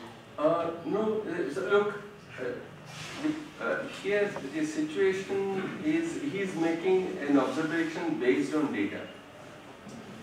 Uh, classical language, look, whether government of India says that or not, Sanskrit and Tamil are classical languages. Now, after that, the politics started. In fact, um, I shouldn't make because um, uh, the whole thing is being recorded. I shouldn't say certain things. But you know, whether somebody says or not, Sanskrit, Tamil, Pali, and Prakrit they are classical languages, and they have been treated as classical languages for centuries by scholars. Now, you know, people as if something becomes a classical language, some kind of benefits are there. So these things are politics, not that you know. Most of the rice eating states are being by non. No, that, no, these are no, here. No, look, look, here, uh, that is something which you forget. Certain things, you look, in India, you must be tolerant, you must appreciate plurality, you must, uh, you know, not object if sambar and rasam are not served here, because when people, these people go to your state, No, they no, also do that. uh, that's That's, you. that's okay. In fact, I like non-veg more in this country. Okay, that's good. Yes, sir. Yes, Professor Hasnain. I think when we're talking about uh, semi-lingualism or uh, even notions like incipient bilingualism, Okay. see most of the problems that have come about have come about because uh, the way sociolinguistics has inherited the notion of authenticity from its precursor of dialectology and folk. That has been a very strong thing that did not allow sociolinguistics to come out of it as a discipline per se. And every time there is always a notion of desire to go for the origin. Yes. This has been the practice of dialectologists. If you, if you look up the, the classical notion of Peter Trudgill's notion of norm, which is the which is the norm as an acronym, it's again a desire for the authenticity. Yes. And and all these things are coming because the authenticity notion has carries with it a notion of essentialism, Yes. which is again contributing a lot to what we are talking about in terms of language being a language. So when we talk about bilingualism, multilingualism, trilingualism in senses, we have a very compartmentalized notion that there is one plus one plus one plus one.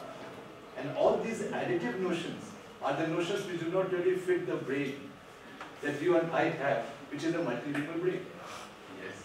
So th- these, these are certain conceptual problems that really we need to address as a sociolinguist also. I want to ask you, uh, see when we're talking about uh, endangerment, since you talked about academic politics, there is a academic politics very much associated with the notion of endangerment as much as it is associated with the notion of linguistic human rights. Yes. Yeah. Because both of them have the same kind of a, a, Very parallel discourse that is that is Very surrounding true. both of them. Very true. And we have not really come up with any kind of an assessment that when there is a loss of language, do the languages really get wiped out in the history and memory of the people? Or do they leave behind certain traces? Okay. Because the traces are also there. See, if you, if you recall, I mean, I, I just quote Nehru when he wrote in The Discovery of India, when he said that there is an aspect of palimpsest. The ancient India is a palimpsest. And when he talked about palimpsest, what he said that the civilization that has gone into the making of Indian history is a civilization which never got wiped out. Layer after layer were there, which are all coming up, and that palimpsest notion really, very, very, very, very cleverly, it really negates the notion of essentialism and brings into the heterogeneity of the civilization. I think we are getting more enamored when we talk about the loss, as if there is a loss of history, loss of memory, and then we start talking because there is no, I do not know, perhaps Nicholas or some of us who have been really involved in the issues of language endangerment, to see whether they, they still have those traces of the previous language. So the structural level, the traces ought to be seen. Last observation that I want to make here. Because I'm, I'm an old man, I forget very quickly. No, no, you don't have to answer. We'll take it up later. Don't, don't worry about that. We'll take it up in the ti- daytime. The last thing that I wanted to uh, uh, just make an observation is that when you're talking about the rootedness, I agree with you. There's a very strong notion of rootedness. But today when the ongoing debate of identity is there, in this debate of identity, speciality has lost its, its, its sheen. The speciality is not there anymore. And especially so, or more so, when there is a digitalized world. Because you have an imaginary community all over. So the, the sense of rootedness also gets diluted in the process. Other than I'm not expecting any comment from you, any reaction from you, because we'd like to have uh, uh, Nicholas, and we can all take it up together. Because uh, You know, I will just refer to um, a language um, and uh, somebody who is sitting here is working on that language which is extinct. Jenny? What's that language? Huh? Sonowal Kachari. Well, she, because she comes from there, so Kasari. So it's Sonowal Kachari. Okay, and the chief minister of Assam is, he is Sonowal, remember that. So he is supposed to speak that language. And uh, that work has been assigned to her and she is trying very hard. That's very, you know, this is uh, in the area of language reclamation which we discussed, you know, I was referring to, you know, a seminar which we organized there. We discussed that, and Nazreen, you were also there when we talked about language reclamation. And uh, I'm, in fact, I have asked her to work it out. I hope, you know, something will be done in that area. So that language, she has gone to the field three times. Many days she has spent there. Very difficult to find a speaker. Interestingly, their culture is very much intact. You know, they have separate dress, separate uh, Yes, religious practices. Yes, those things we will have to find out. Then only come because Bodo is a sister of uh, Sonowal Kachari. So we have to once we get something, then only comparison and all these things can be done. So languages are lost. Yes, you want to ask something? I personally is very skeptical about this two language, three language, four language, all those which may go on policies. But if you look at it, uh, from the, I mean, I feel they play a very little role in fomenting multilingualism or bilingualism. If you look at the Northeast, where actually three languages is not where practiced, you know, it's not in Meghalaya, it's not in none of the states actually. But the amount of multilingualism that you find in Assam or even Arunachal Pradesh, Nagaland, how would you say actually, where does, but uh, you know, in that case, I don't see actually these policies. Policies can also only make you literate in that language. Nazreen, since we are talking about Arunachal Pradesh, I'll ask you a question. Why Hindi is becoming the lingua franca in Arunachal? That, yeah, that can be a case, but it's, No, the question has to be, no, the question has to be, no, the same thing. Why has Bihar accepted Hindi as the language? And why India, um, uh, that's what I was uh, um, uh, mentioning to um, um, Professor Nicholas Ostler. Uh, India has accepted um, uh, those languages as lingua franca which were not the mother tongues of any group in this country. First it was Sanskrit. When Prakrit and Pali, Prakrit and Pali, all these languages are spoken, they accepted Sanskrit. Then became Persian, now English. You see, this is the tragedy of a multilingual state, multilingual country. And we always compete with each other. Now, if um, Hindi gets something, um, Bengali feels bad. If Bengali gets something, Tamil feels bad. So that kind of problem is there. So that must be the reason for which you know Bihar has accepted Hindi, even though it's not a Hindi-speaking state. Technically speaking, something similar is happening in Arunachal, etc., etc. So yes, Bapuji, why are you asking questions here? No, sir. This is 98 percentage and less than 10,000 are not included in this uh, census of India. Bapuji, Why this controversy? Bapuji, the problem is education is in the concurrent list. When it is the concurrent list, list everybody's responsibility becomes nobody's responsibility. So central government will say this is what the state should do. The state says that well this is what the center should do. So as a result, all these problems. So these are issues which we should probably debate, think about, discuss, and finalize. But these 10,000 people are, there among this 98 percentage. of Uh, this was done only after 1961. Before that, that was not there. In 1961 census, all the languages, whether uh, major, minor, whatever it is, mother tongues have been, uh, you know, uh, listed. Now only after that only 10,000 that rule was implemented. Okay, and that was implemented. Also there was a reason. You must know that 1950 to 1965, these 15 years were given to promote Hindi as the national language. So all these things were there at the background, and uh, I won't like to discuss those things here. This last question, uh, and then we'll go Yes, for- yes, Yes. yes. Uh, So thank you for the session, sir. Uh, before I just talk to you, I mean, ask you a question, I would like to ask a question to the entire audience. I just throwing it open. please do that. That's better. I Thank prefer that. Then I'm coming back to you, sir. Everyone, I just want to ask you, how many of you are speaking an endangered language, which is listed or either it's not listed but you consider it endangered? Can you please raise your hand? If you, are you aware of it, that your language, I mean, okay, so not, no one else except me, are you raising your hand? Yeah, I'm. You're raising a hand. Okay, great. Okay, she's raising her hand. What are you? Okay. So this is four of us. One, two, three, four. What's your What's the name of your language? Which is in uh, No, the language he was talking about, it, has no name. We speak at home. I come from Bihar, the region from which he was talking, and it's endangered in the sense it has no place. Uh, it is endangered because it has no mean- name. Okay. So I don't know. Sorry, I, I'm not sure. Okay. Now the language that I speak, it's uh, called Ranglo. It's in Uttarakhand and it's listed because there are three varieties. In fact, in Wikipedia, endangered language section, it is listed as Byangho, Bangma and Dharma. Next to me, she is also sitting, she is also speaking the same language and the interesting part for all of you might be that we are from two different countries. I'm from India, she's from Nepal because the river divides us and the government of India and Nepal over a cup of tea might have decided to just divide us on the basis of the river.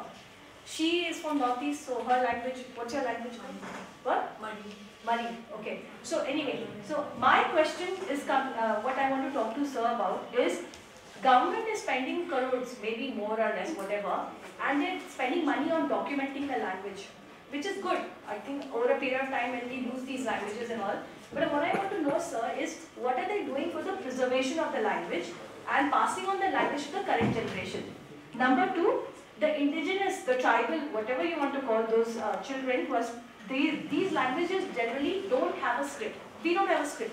That's number one reason why people who are not even born and raised in that area, forget about India, a lot of children are now growing up in other countries. I was one of them during my time. So we don't have people speaking and we don't have anything to uh, read. We don't have any text. For example, Malayalis, Tamilians, anybody who is born outside Kerala, they will have a script, they will be able to practice and everything, they'll be able to learn their language. Third thing, the government, uh, it talks about wanting to preserve our language if they're thinking of that. Then how come when uh, in the last two years, my daughter's school has constantly asked us to fill the form and asked, are we speaking any, what are our languages and everything, we're filling it up. The- the- They say it's for the government. If the government is keeping a note of all these languages, what are they doing to check ki, okay, this child is from an endangered language uh, speaking community. So my daughter, whether she knows Ranglo or not, the government doesn't bother. But English, Hindi, plus a foreign language Spanish that she has to take, So if suppose she was wanting to learn Ranglo sir, then how would she be learning four languages at what time? Would she be able to say that, sorry, I, I can't learn Spanish right now because I have the pressure of learning A, B and C. So these are the kind of things. So if you could just kind of throw some light on this. Because this is the actual problem of how our languages are, endangered languages are dying. Because there is, if, if my generation Yeah, of yes. people were not able to pass on, A sir, couple of it's things. gone. No, a couple of things. Uh, when you say your language doesn't have a script in the morning, I mentioned that Urdu doesn't have a script. Yes. Hindi doesn't have a script. English doesn't have a script. And we have been writing, or I know many endangered language speakers who have been writing their languages in one script. They have been doing that. There is no harm. If Bodo can be written in Devanagari, Mizo or Khasi can be written in Roman, so why not? What's the problem? Yes. So the what that's very interesting. That's one thing because I thought that question I would talk about in the orthography section. So when you're talking about Bodo is written in that, the people who made those scripts, were they somebody? I mean, was it the community or what? Because my community, exactly what you're saying, we don't have a script. But because of everybody, the young generation, when they, the ones who know the language, they're actually using the Roman script. But they're having problem because all the sounds are not coming in that. The senior people, they've started using the Devanagari script. So I completely agree with what you're saying. But sir, there's certain, mar you know, the markers which are missing. So do we come to, who do we go to to say that, okay, we want this to be done officially? Uh, look, then, uh, can I? Yes, maybe probably we should- We'll- Yeah, we'll take it up when, yeah. when uh, Nicholas takes up his lecture. Yeah, Okay, but then you can react to that over a cup of tea. Yeah, good. Thank you. That's all. Thank you. Thank you very much. Um, I just thought, I want to be able to say what I could say in French, but I can't say it in English, and I can't say it in Hindi. So, le bonjour. Uh, hello again. Um, we are diverging from the official script here and having the last, what would have been the last lecture um, here on the first day, because basically I shan't be here at the time when I would have been um, scheduled to deliver this. So what this, um, this lecture is on, the, um, the PowerPoint, we uh, re repeat some things I said this morning, so we won't need to say that again now, so it's going to speed things up. But it is about basically um, the evolving consciousness of foreign languages and how to teach them, how to learn them, which is something which was, was not obvious and has, has grown essentially over the last, really the last 400 years. So I've, um, I, I call this thing the wonder of foreign languages, why are they still here? In some sense, one wonders if it is so obviously beneficial for world communication that there should only be one language, why do we still have thousands of them? Um, partly because people have gone on um, trying to learn um, and even um, encouraging other people to learn. So this was what we were going to say about the human colonization of the earth. We had all this. And uh, summing up in the fact that the axial age, which um, was the last part of the, of the last millennium, sorry, of the, of the, the second to last millennium, um, so over 2,000 years ago, uh, through the spread of writing, empires, languages, and world faiths, we got the world divided up into, um, in a sort of hegemonist way, so that there were major leading languages, leading religions, leading empires, which um, defined people's idea of what diversity there was in the world.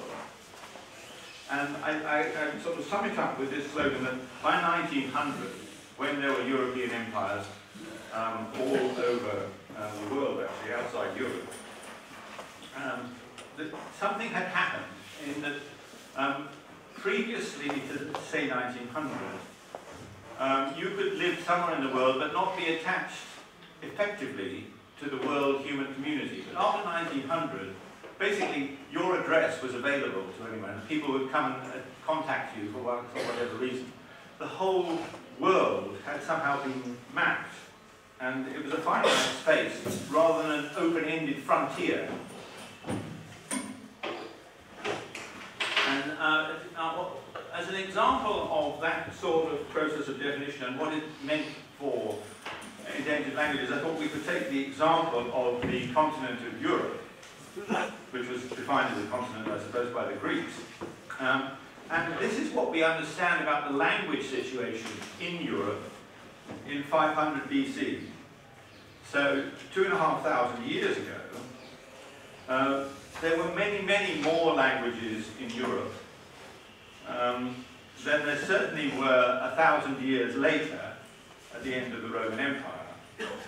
And the um, languages which there were in Europe were more diverse genetically than the languages of Europe are today. So you can see uh, Gaulish, which is a language which doesn't exist at all anymore, was the, the most um, dominant and widespread language in the continent, in terms of area at least. And it closely related British was there, less closely related but also another Celtic language, Irish, in Ireland.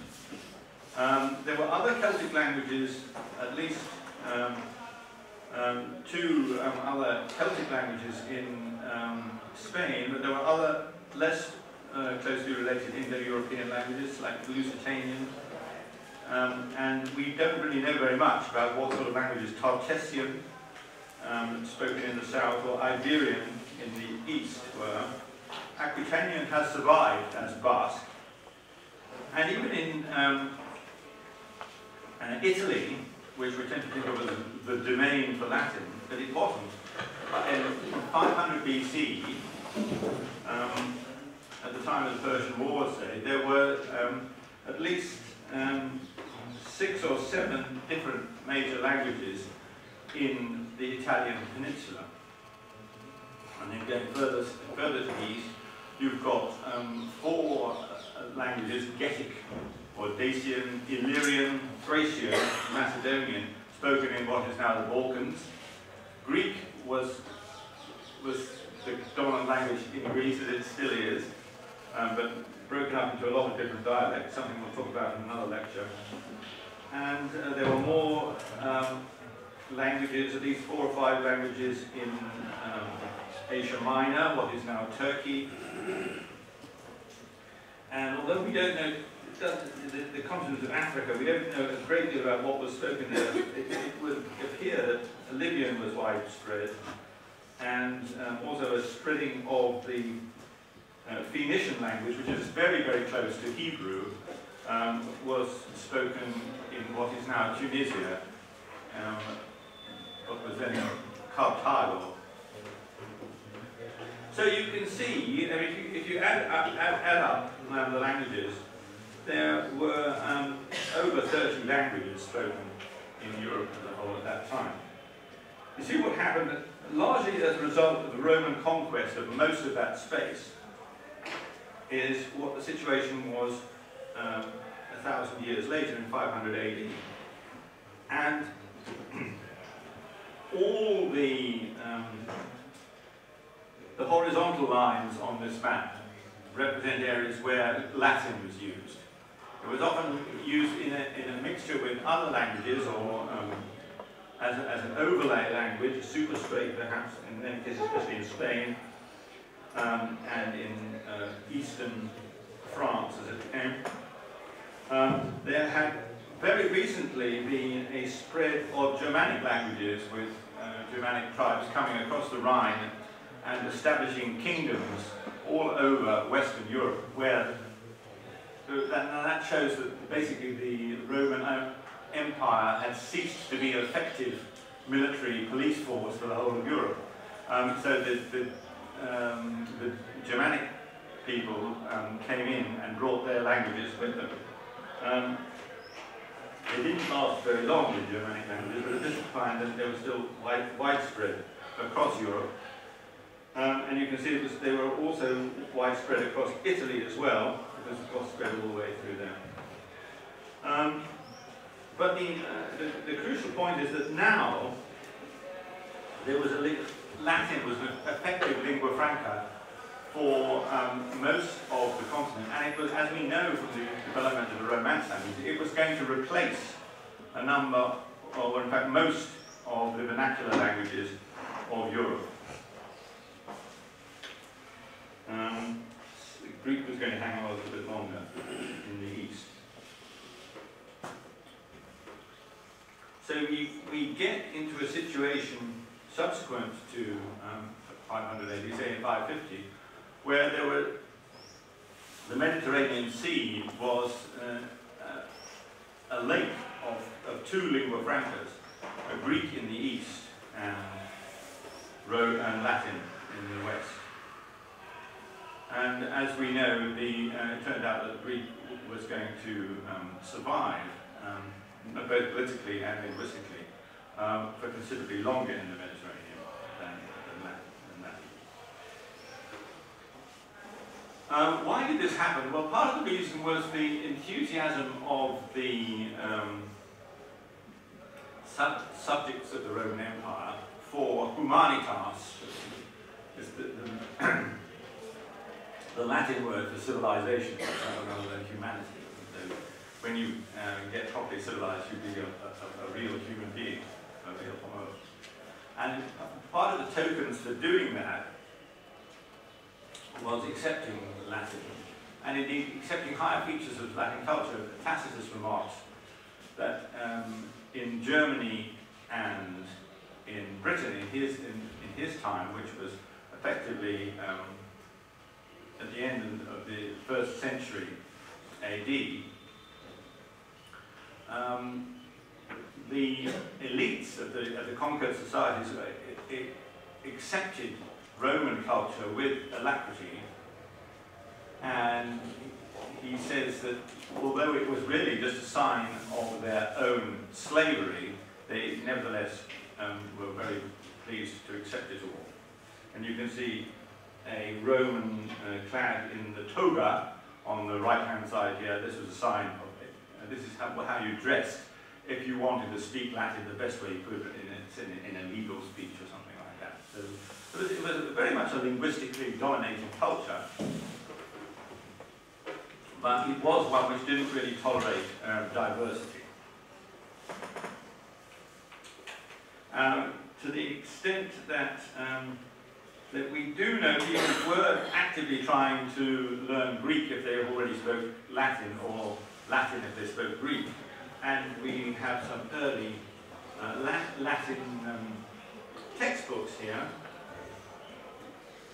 um, which actually were by the sort of direct method um, how you how you express yourself in extreme situations here.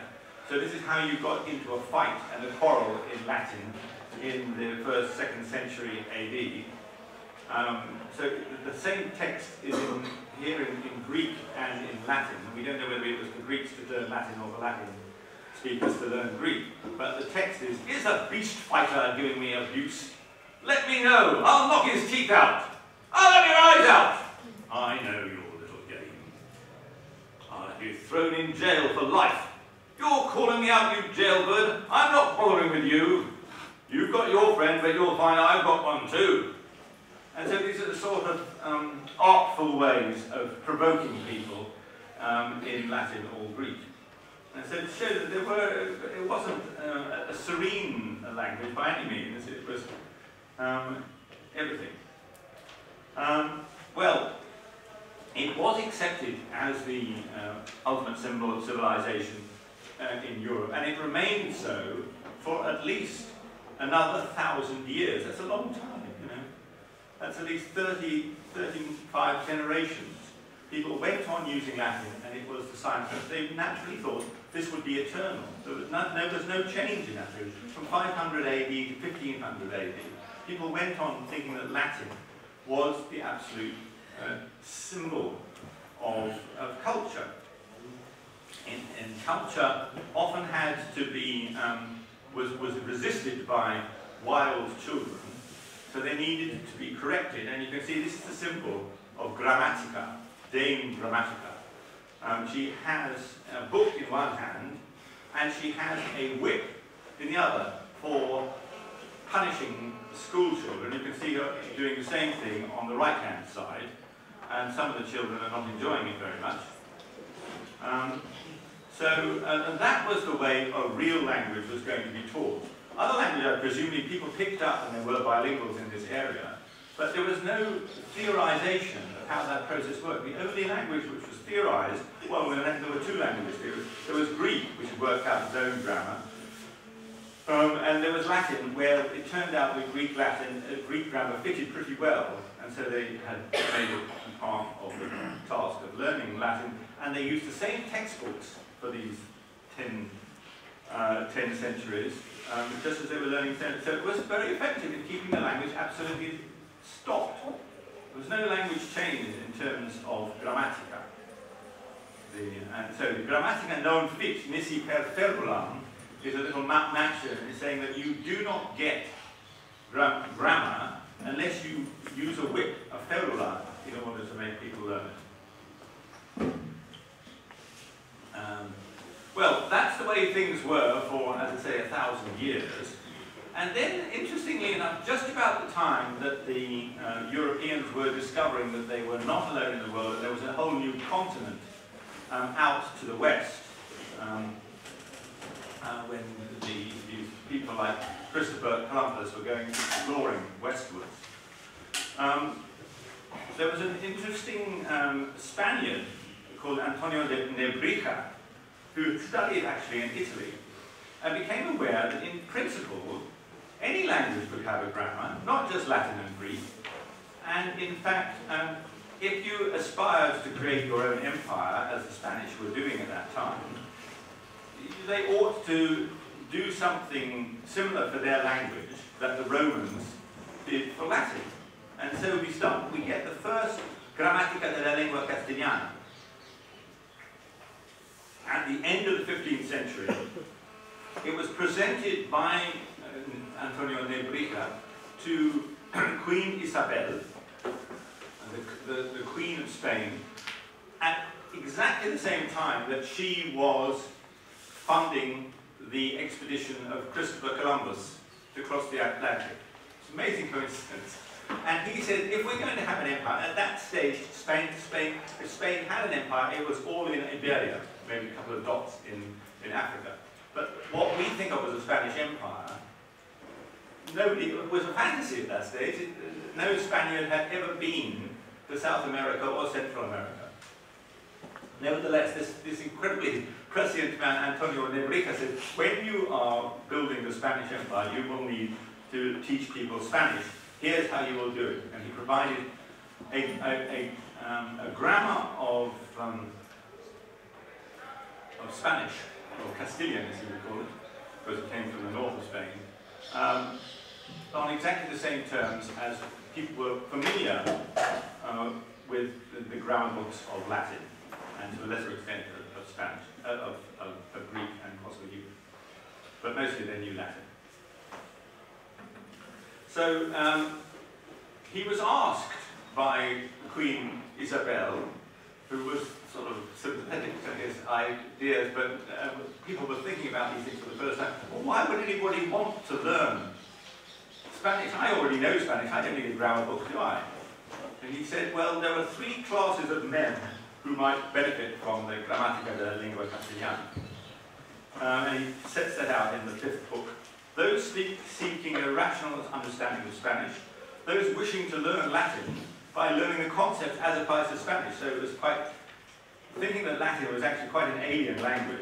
You might understand better if you first saw the principles applied within your own language, then you could learn Latin better. And furthermore, there was a third category, people outside who had nothing to do with Spanish at all, but might want to learn it anyway. Mm. And so here it is, this is um, how it's organized. It's organized like, like, like a, a, a, contemporary uh, grammar of Latin, which is pretty familiar to those of us who have actually learned Latin even in the 20th century, or in your case, I suppose, mostly in the 21st century. Um, now, um, so that, that happened, and uh, there were grammars of um, Spanish taken out to the Caribbean. Um, there weren't many of them natives wishing to learn Spanish because unfortunately most of them died before they got a chance to incorporate themselves into the Spanish system, um, or empire as it was, it was emerging. Um, nevertheless, um, the idea that every, every major state should have its own language, and furthermore that language should be um, analysed in a, in a grammar book, did catch on. So in Europe, we see um, the symbolic dignity of nations um, summed up in grammars. In the Americas, uh, the mission of the church required um, Jesuits and other um, monks who were learning the um, foreign languages in order to use them to spread the, the faith. This was, this was a new uh, concept um, which perhaps had eluded Nebrija, but it was very, very important. And Nahuatl and Quechua and all the major lingua francas of the Americas were very soon analyzed in Latin-style grammars. People said they, they, were they used Latin grammar too much, but in fact they were, they were quite sophisticated in, in seeing new concepts as they needed. And so you find grammar books for European languages all over, from English and German and Polish and uh, Welsh, all sorts of these uh, languages were um, given their grammar books in the 16th, 17th centuries.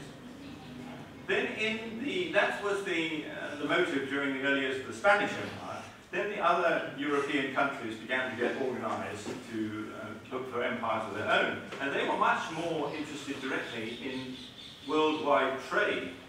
So that you start to get, um, um, they, they began to discover that outside uh, Europe there were other languages which sometimes could be used widely.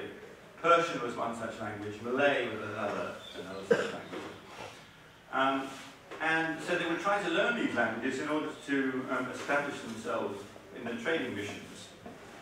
Um, and this was the origin of the phrase book, which we'll, which we'll see a few a couple examples in a minute.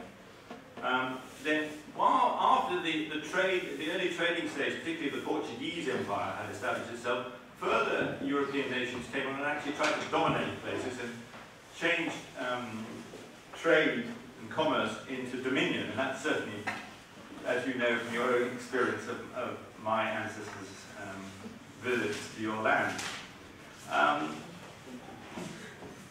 so at this point we, want, started to want to learn languages in order to establish empires, local languages for administration and the military.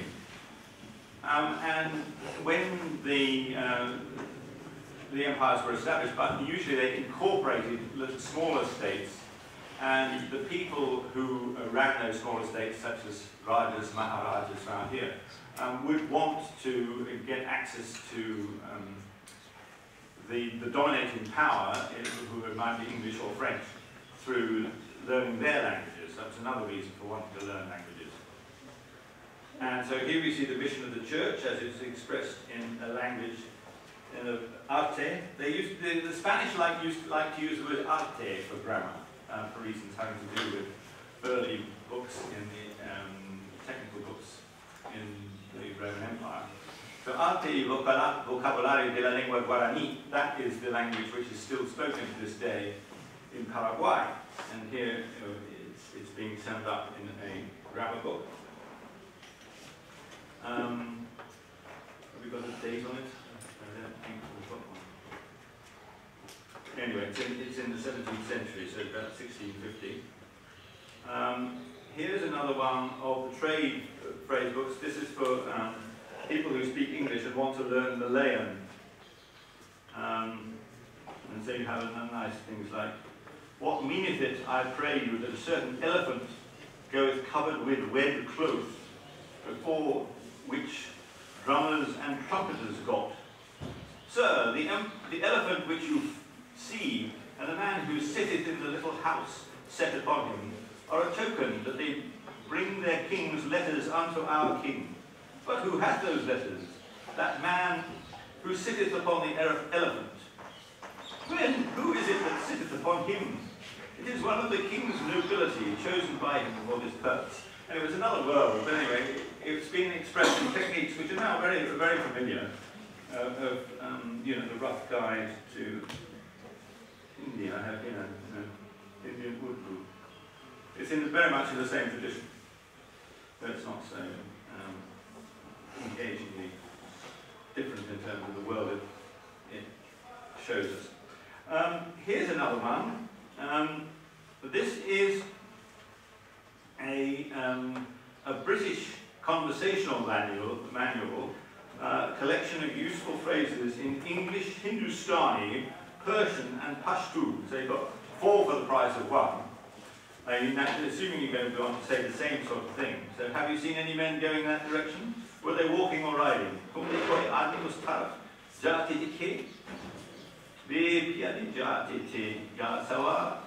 Then you've got the same thing in Persian. Kuda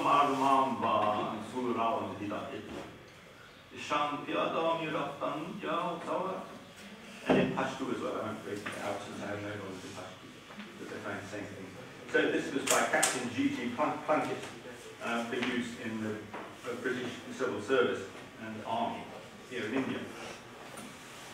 And um, in fact, what, since the British in those days were good at turning everything into some form of commercial activity, uh, they succeeded with language learning too. You had an English language teaching industry.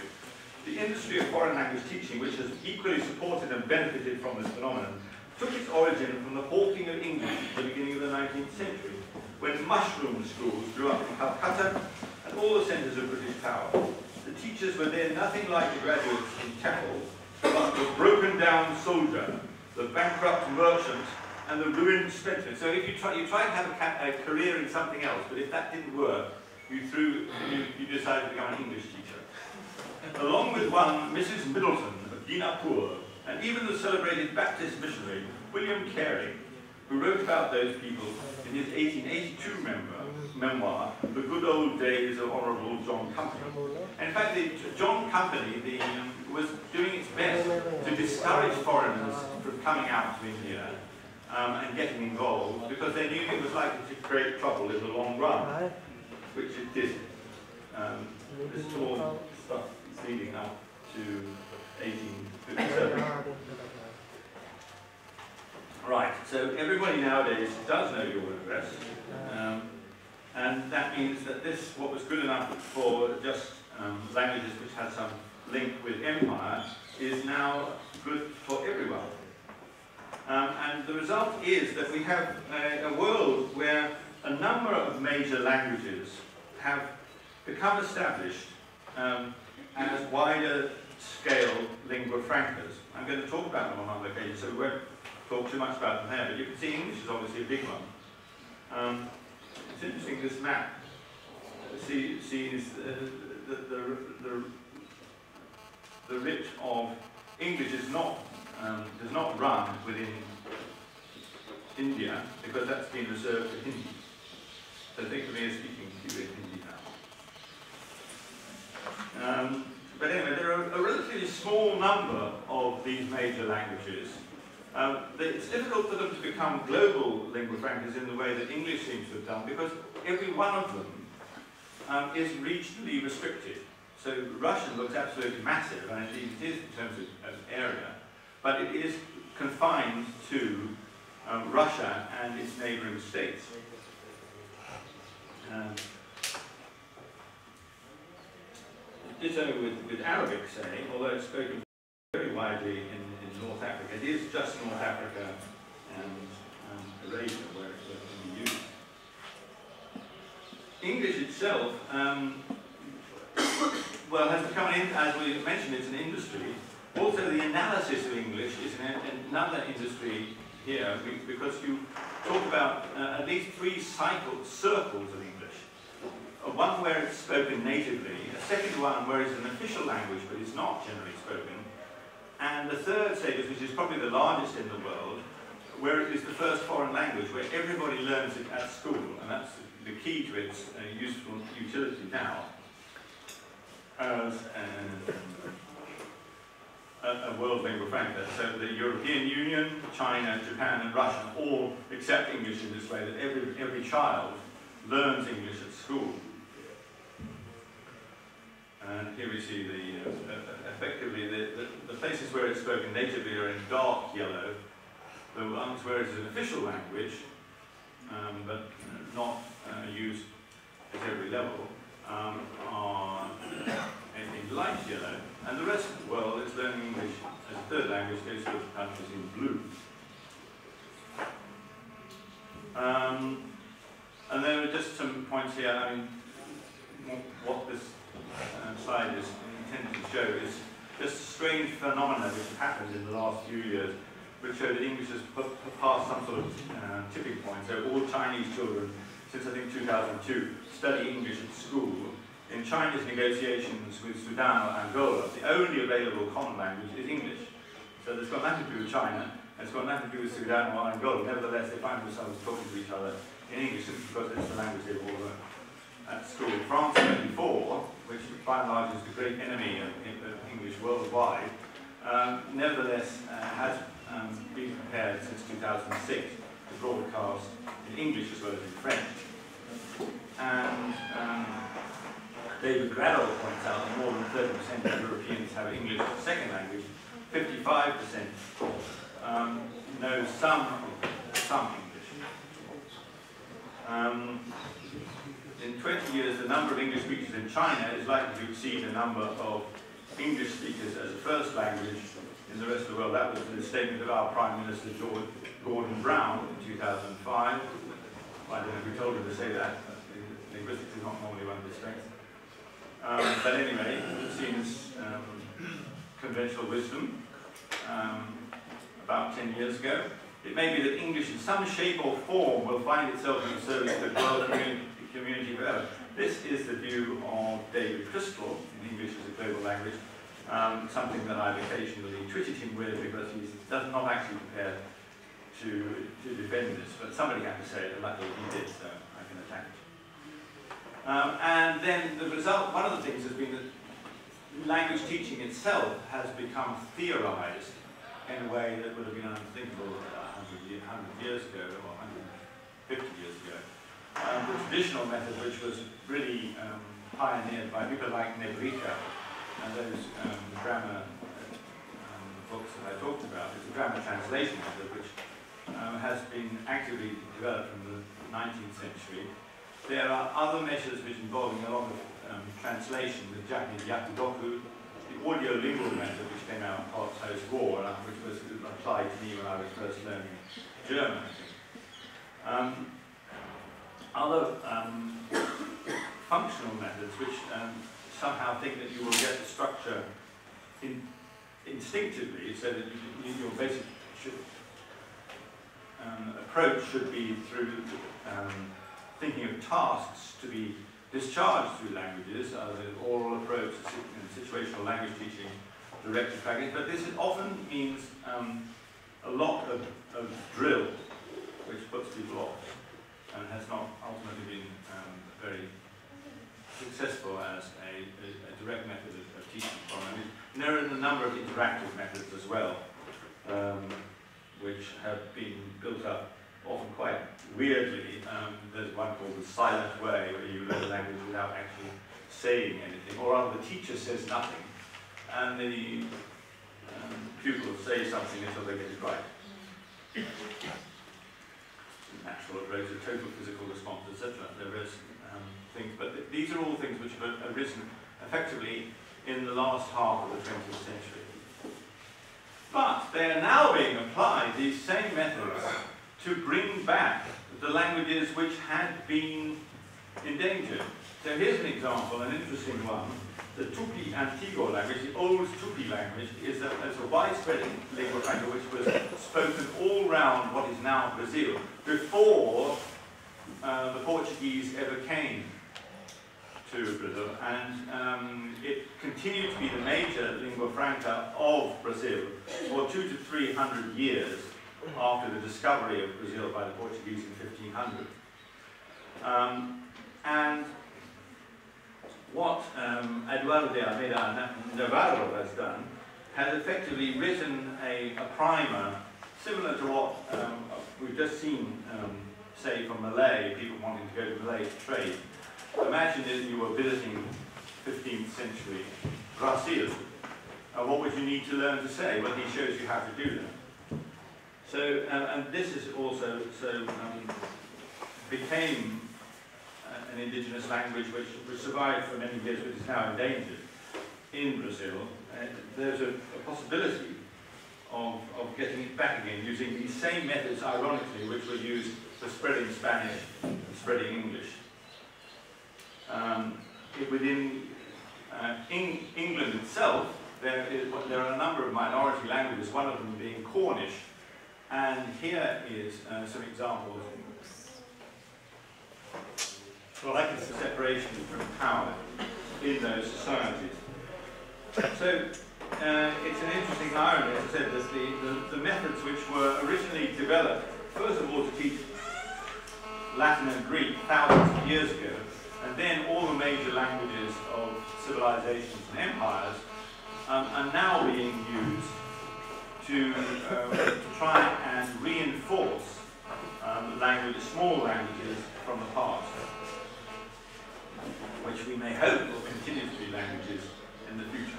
Thank you very much.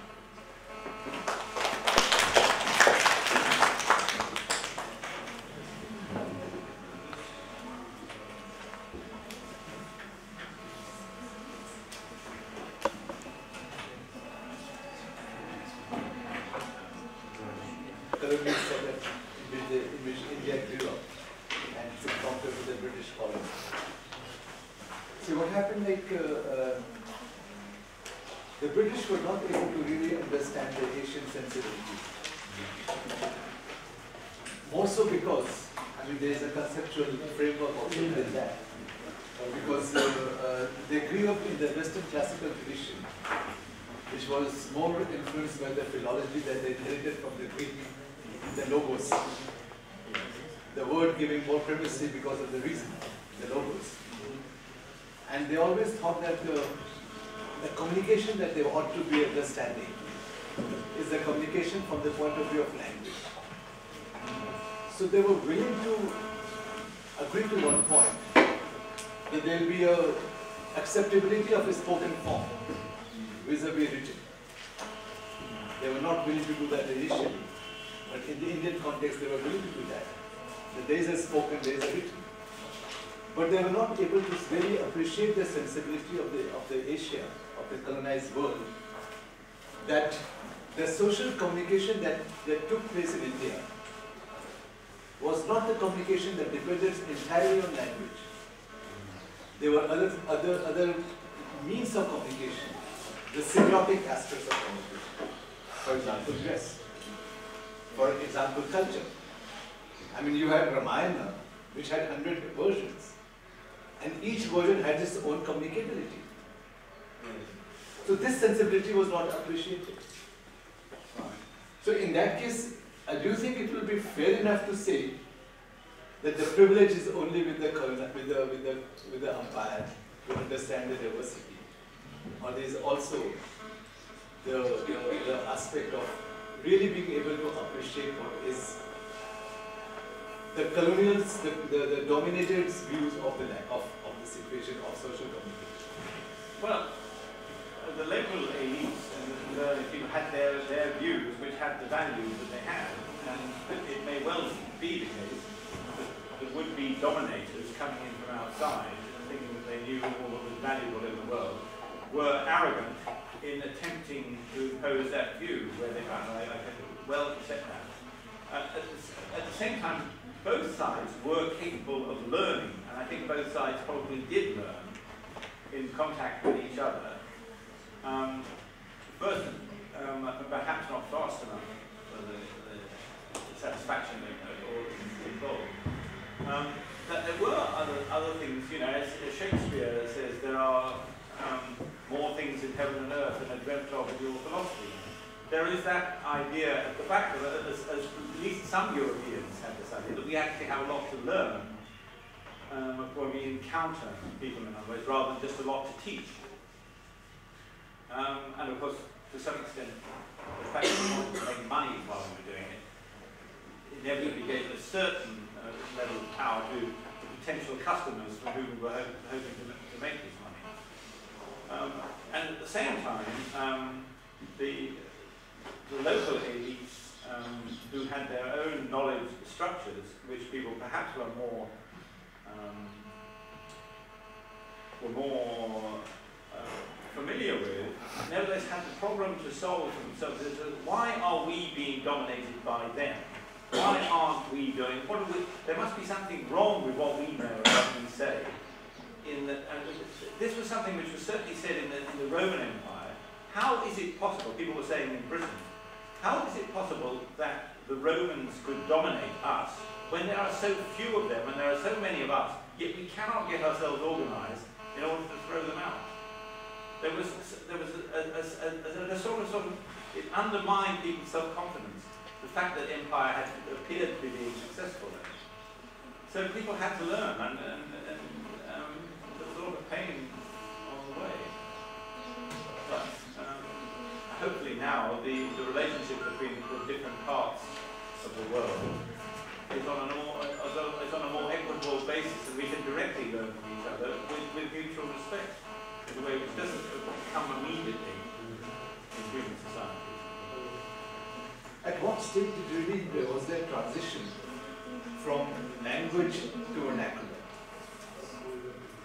When um, people, you mean um, in this time when they started saying, oh yes, every language has its own grammar, then they were effectively making vernaculars into languages.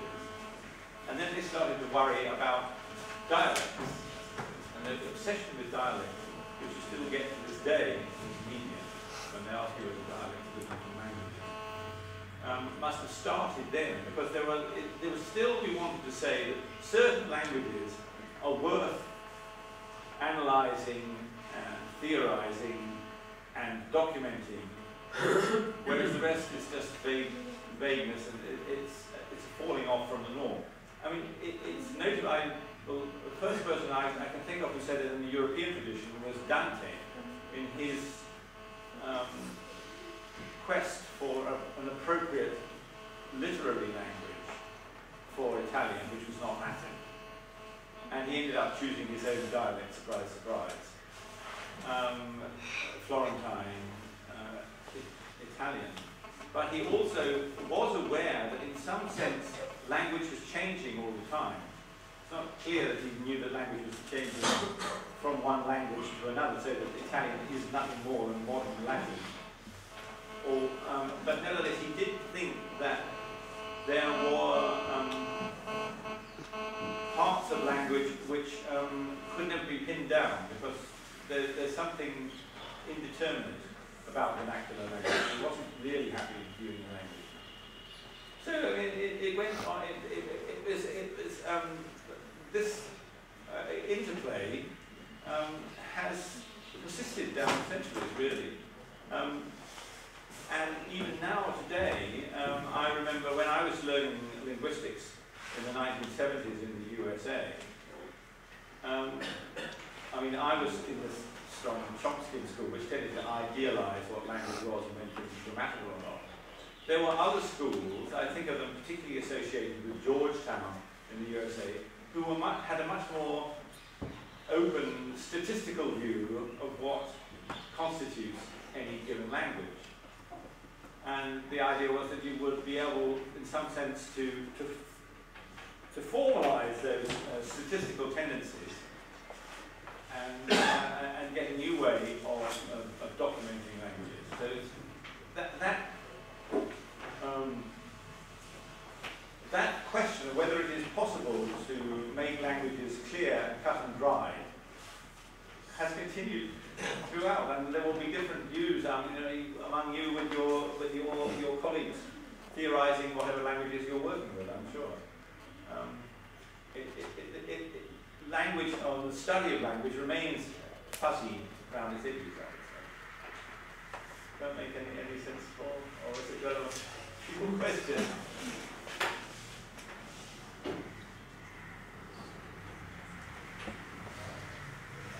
I'm posing a question, can the language teaching method that was used to teach, let's say the industrial language or industrialized language, can they be used to revitalize an endangered language, how do you differentiate? Uh, would you be discussing this further in the next days? So Uh, differentiate between what? Language teaching as a method from that of a dominant language like English to that of a uh, languages that you are referring to as the Brazilian language or the Massachusetts one. Does, do, are they different essentially, or, or do they actually work? That's also another question. And are they being different? Because from what I understand, from being an English learner in a very alienated context, it's, it's a very mechanical process. The language teaching methods were devised for languages like English are very mechanical. But uh, to reclaim a language, uh, does such mechanical methods work? Yeah, I don't think they do work terribly well, but you, you, some of them are um, fairly mechanical, um, and others are, are, are, less so. Um, what happened, I, what I'm trying to say is that gradually people have changed their concept of what is a language which is worth documenting and worth learning, and which is widened and widened in, in the course of the last 500 years, and widened very little in the thousand years before that, although there was language teaching, but then people only thought it was worth doing it for the, the classical languages. But then um, people have had different ideas as to what, what are good ways to teach languages, which they didn't have in those thousand years when they were teaching Latin and Greek. They had a particular method which was used and had been defined really in, in the 13, in the third century AD, and it continued certainly until the, the 15th century AD, um, effectively using the same books, not just using the same method. And they, they knew it worked, and they kept on using it. And they had, they didn't see the idea that the culture was changing and the language was changing. Everything has been more fluid since 1500, and it's been fluid in further our, our ideas about what is an effective method of teaching language. but it's fluid also in thinking which languages are worth teaching. Now, whether they will ultimately be uh, good teaching languages or not, we don't know. There's a tendency to believe uh, that if somebody wants to learn a language, they will learn it, just and they used to learn it in the olden days, just as they learn it now. And it's basically human intelligence relating to somebody's language language, as one of the things that Chomsky says, is, well, uh, which I do agree with him is that uh, a human language is something which is intrinsically learnable. It has form in its state because that's the way that um, human minds organize things. And so you can expect whatever methods you use, unless you put people off by boring senseless, are going to work. But, um, it, but the reason that they will work is not probably because they have good methods, but because human beings are good language learners. But I, I don't know.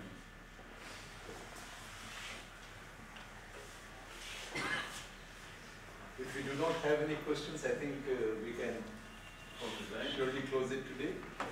And uh, thanks, uh, Nicholas, thanks,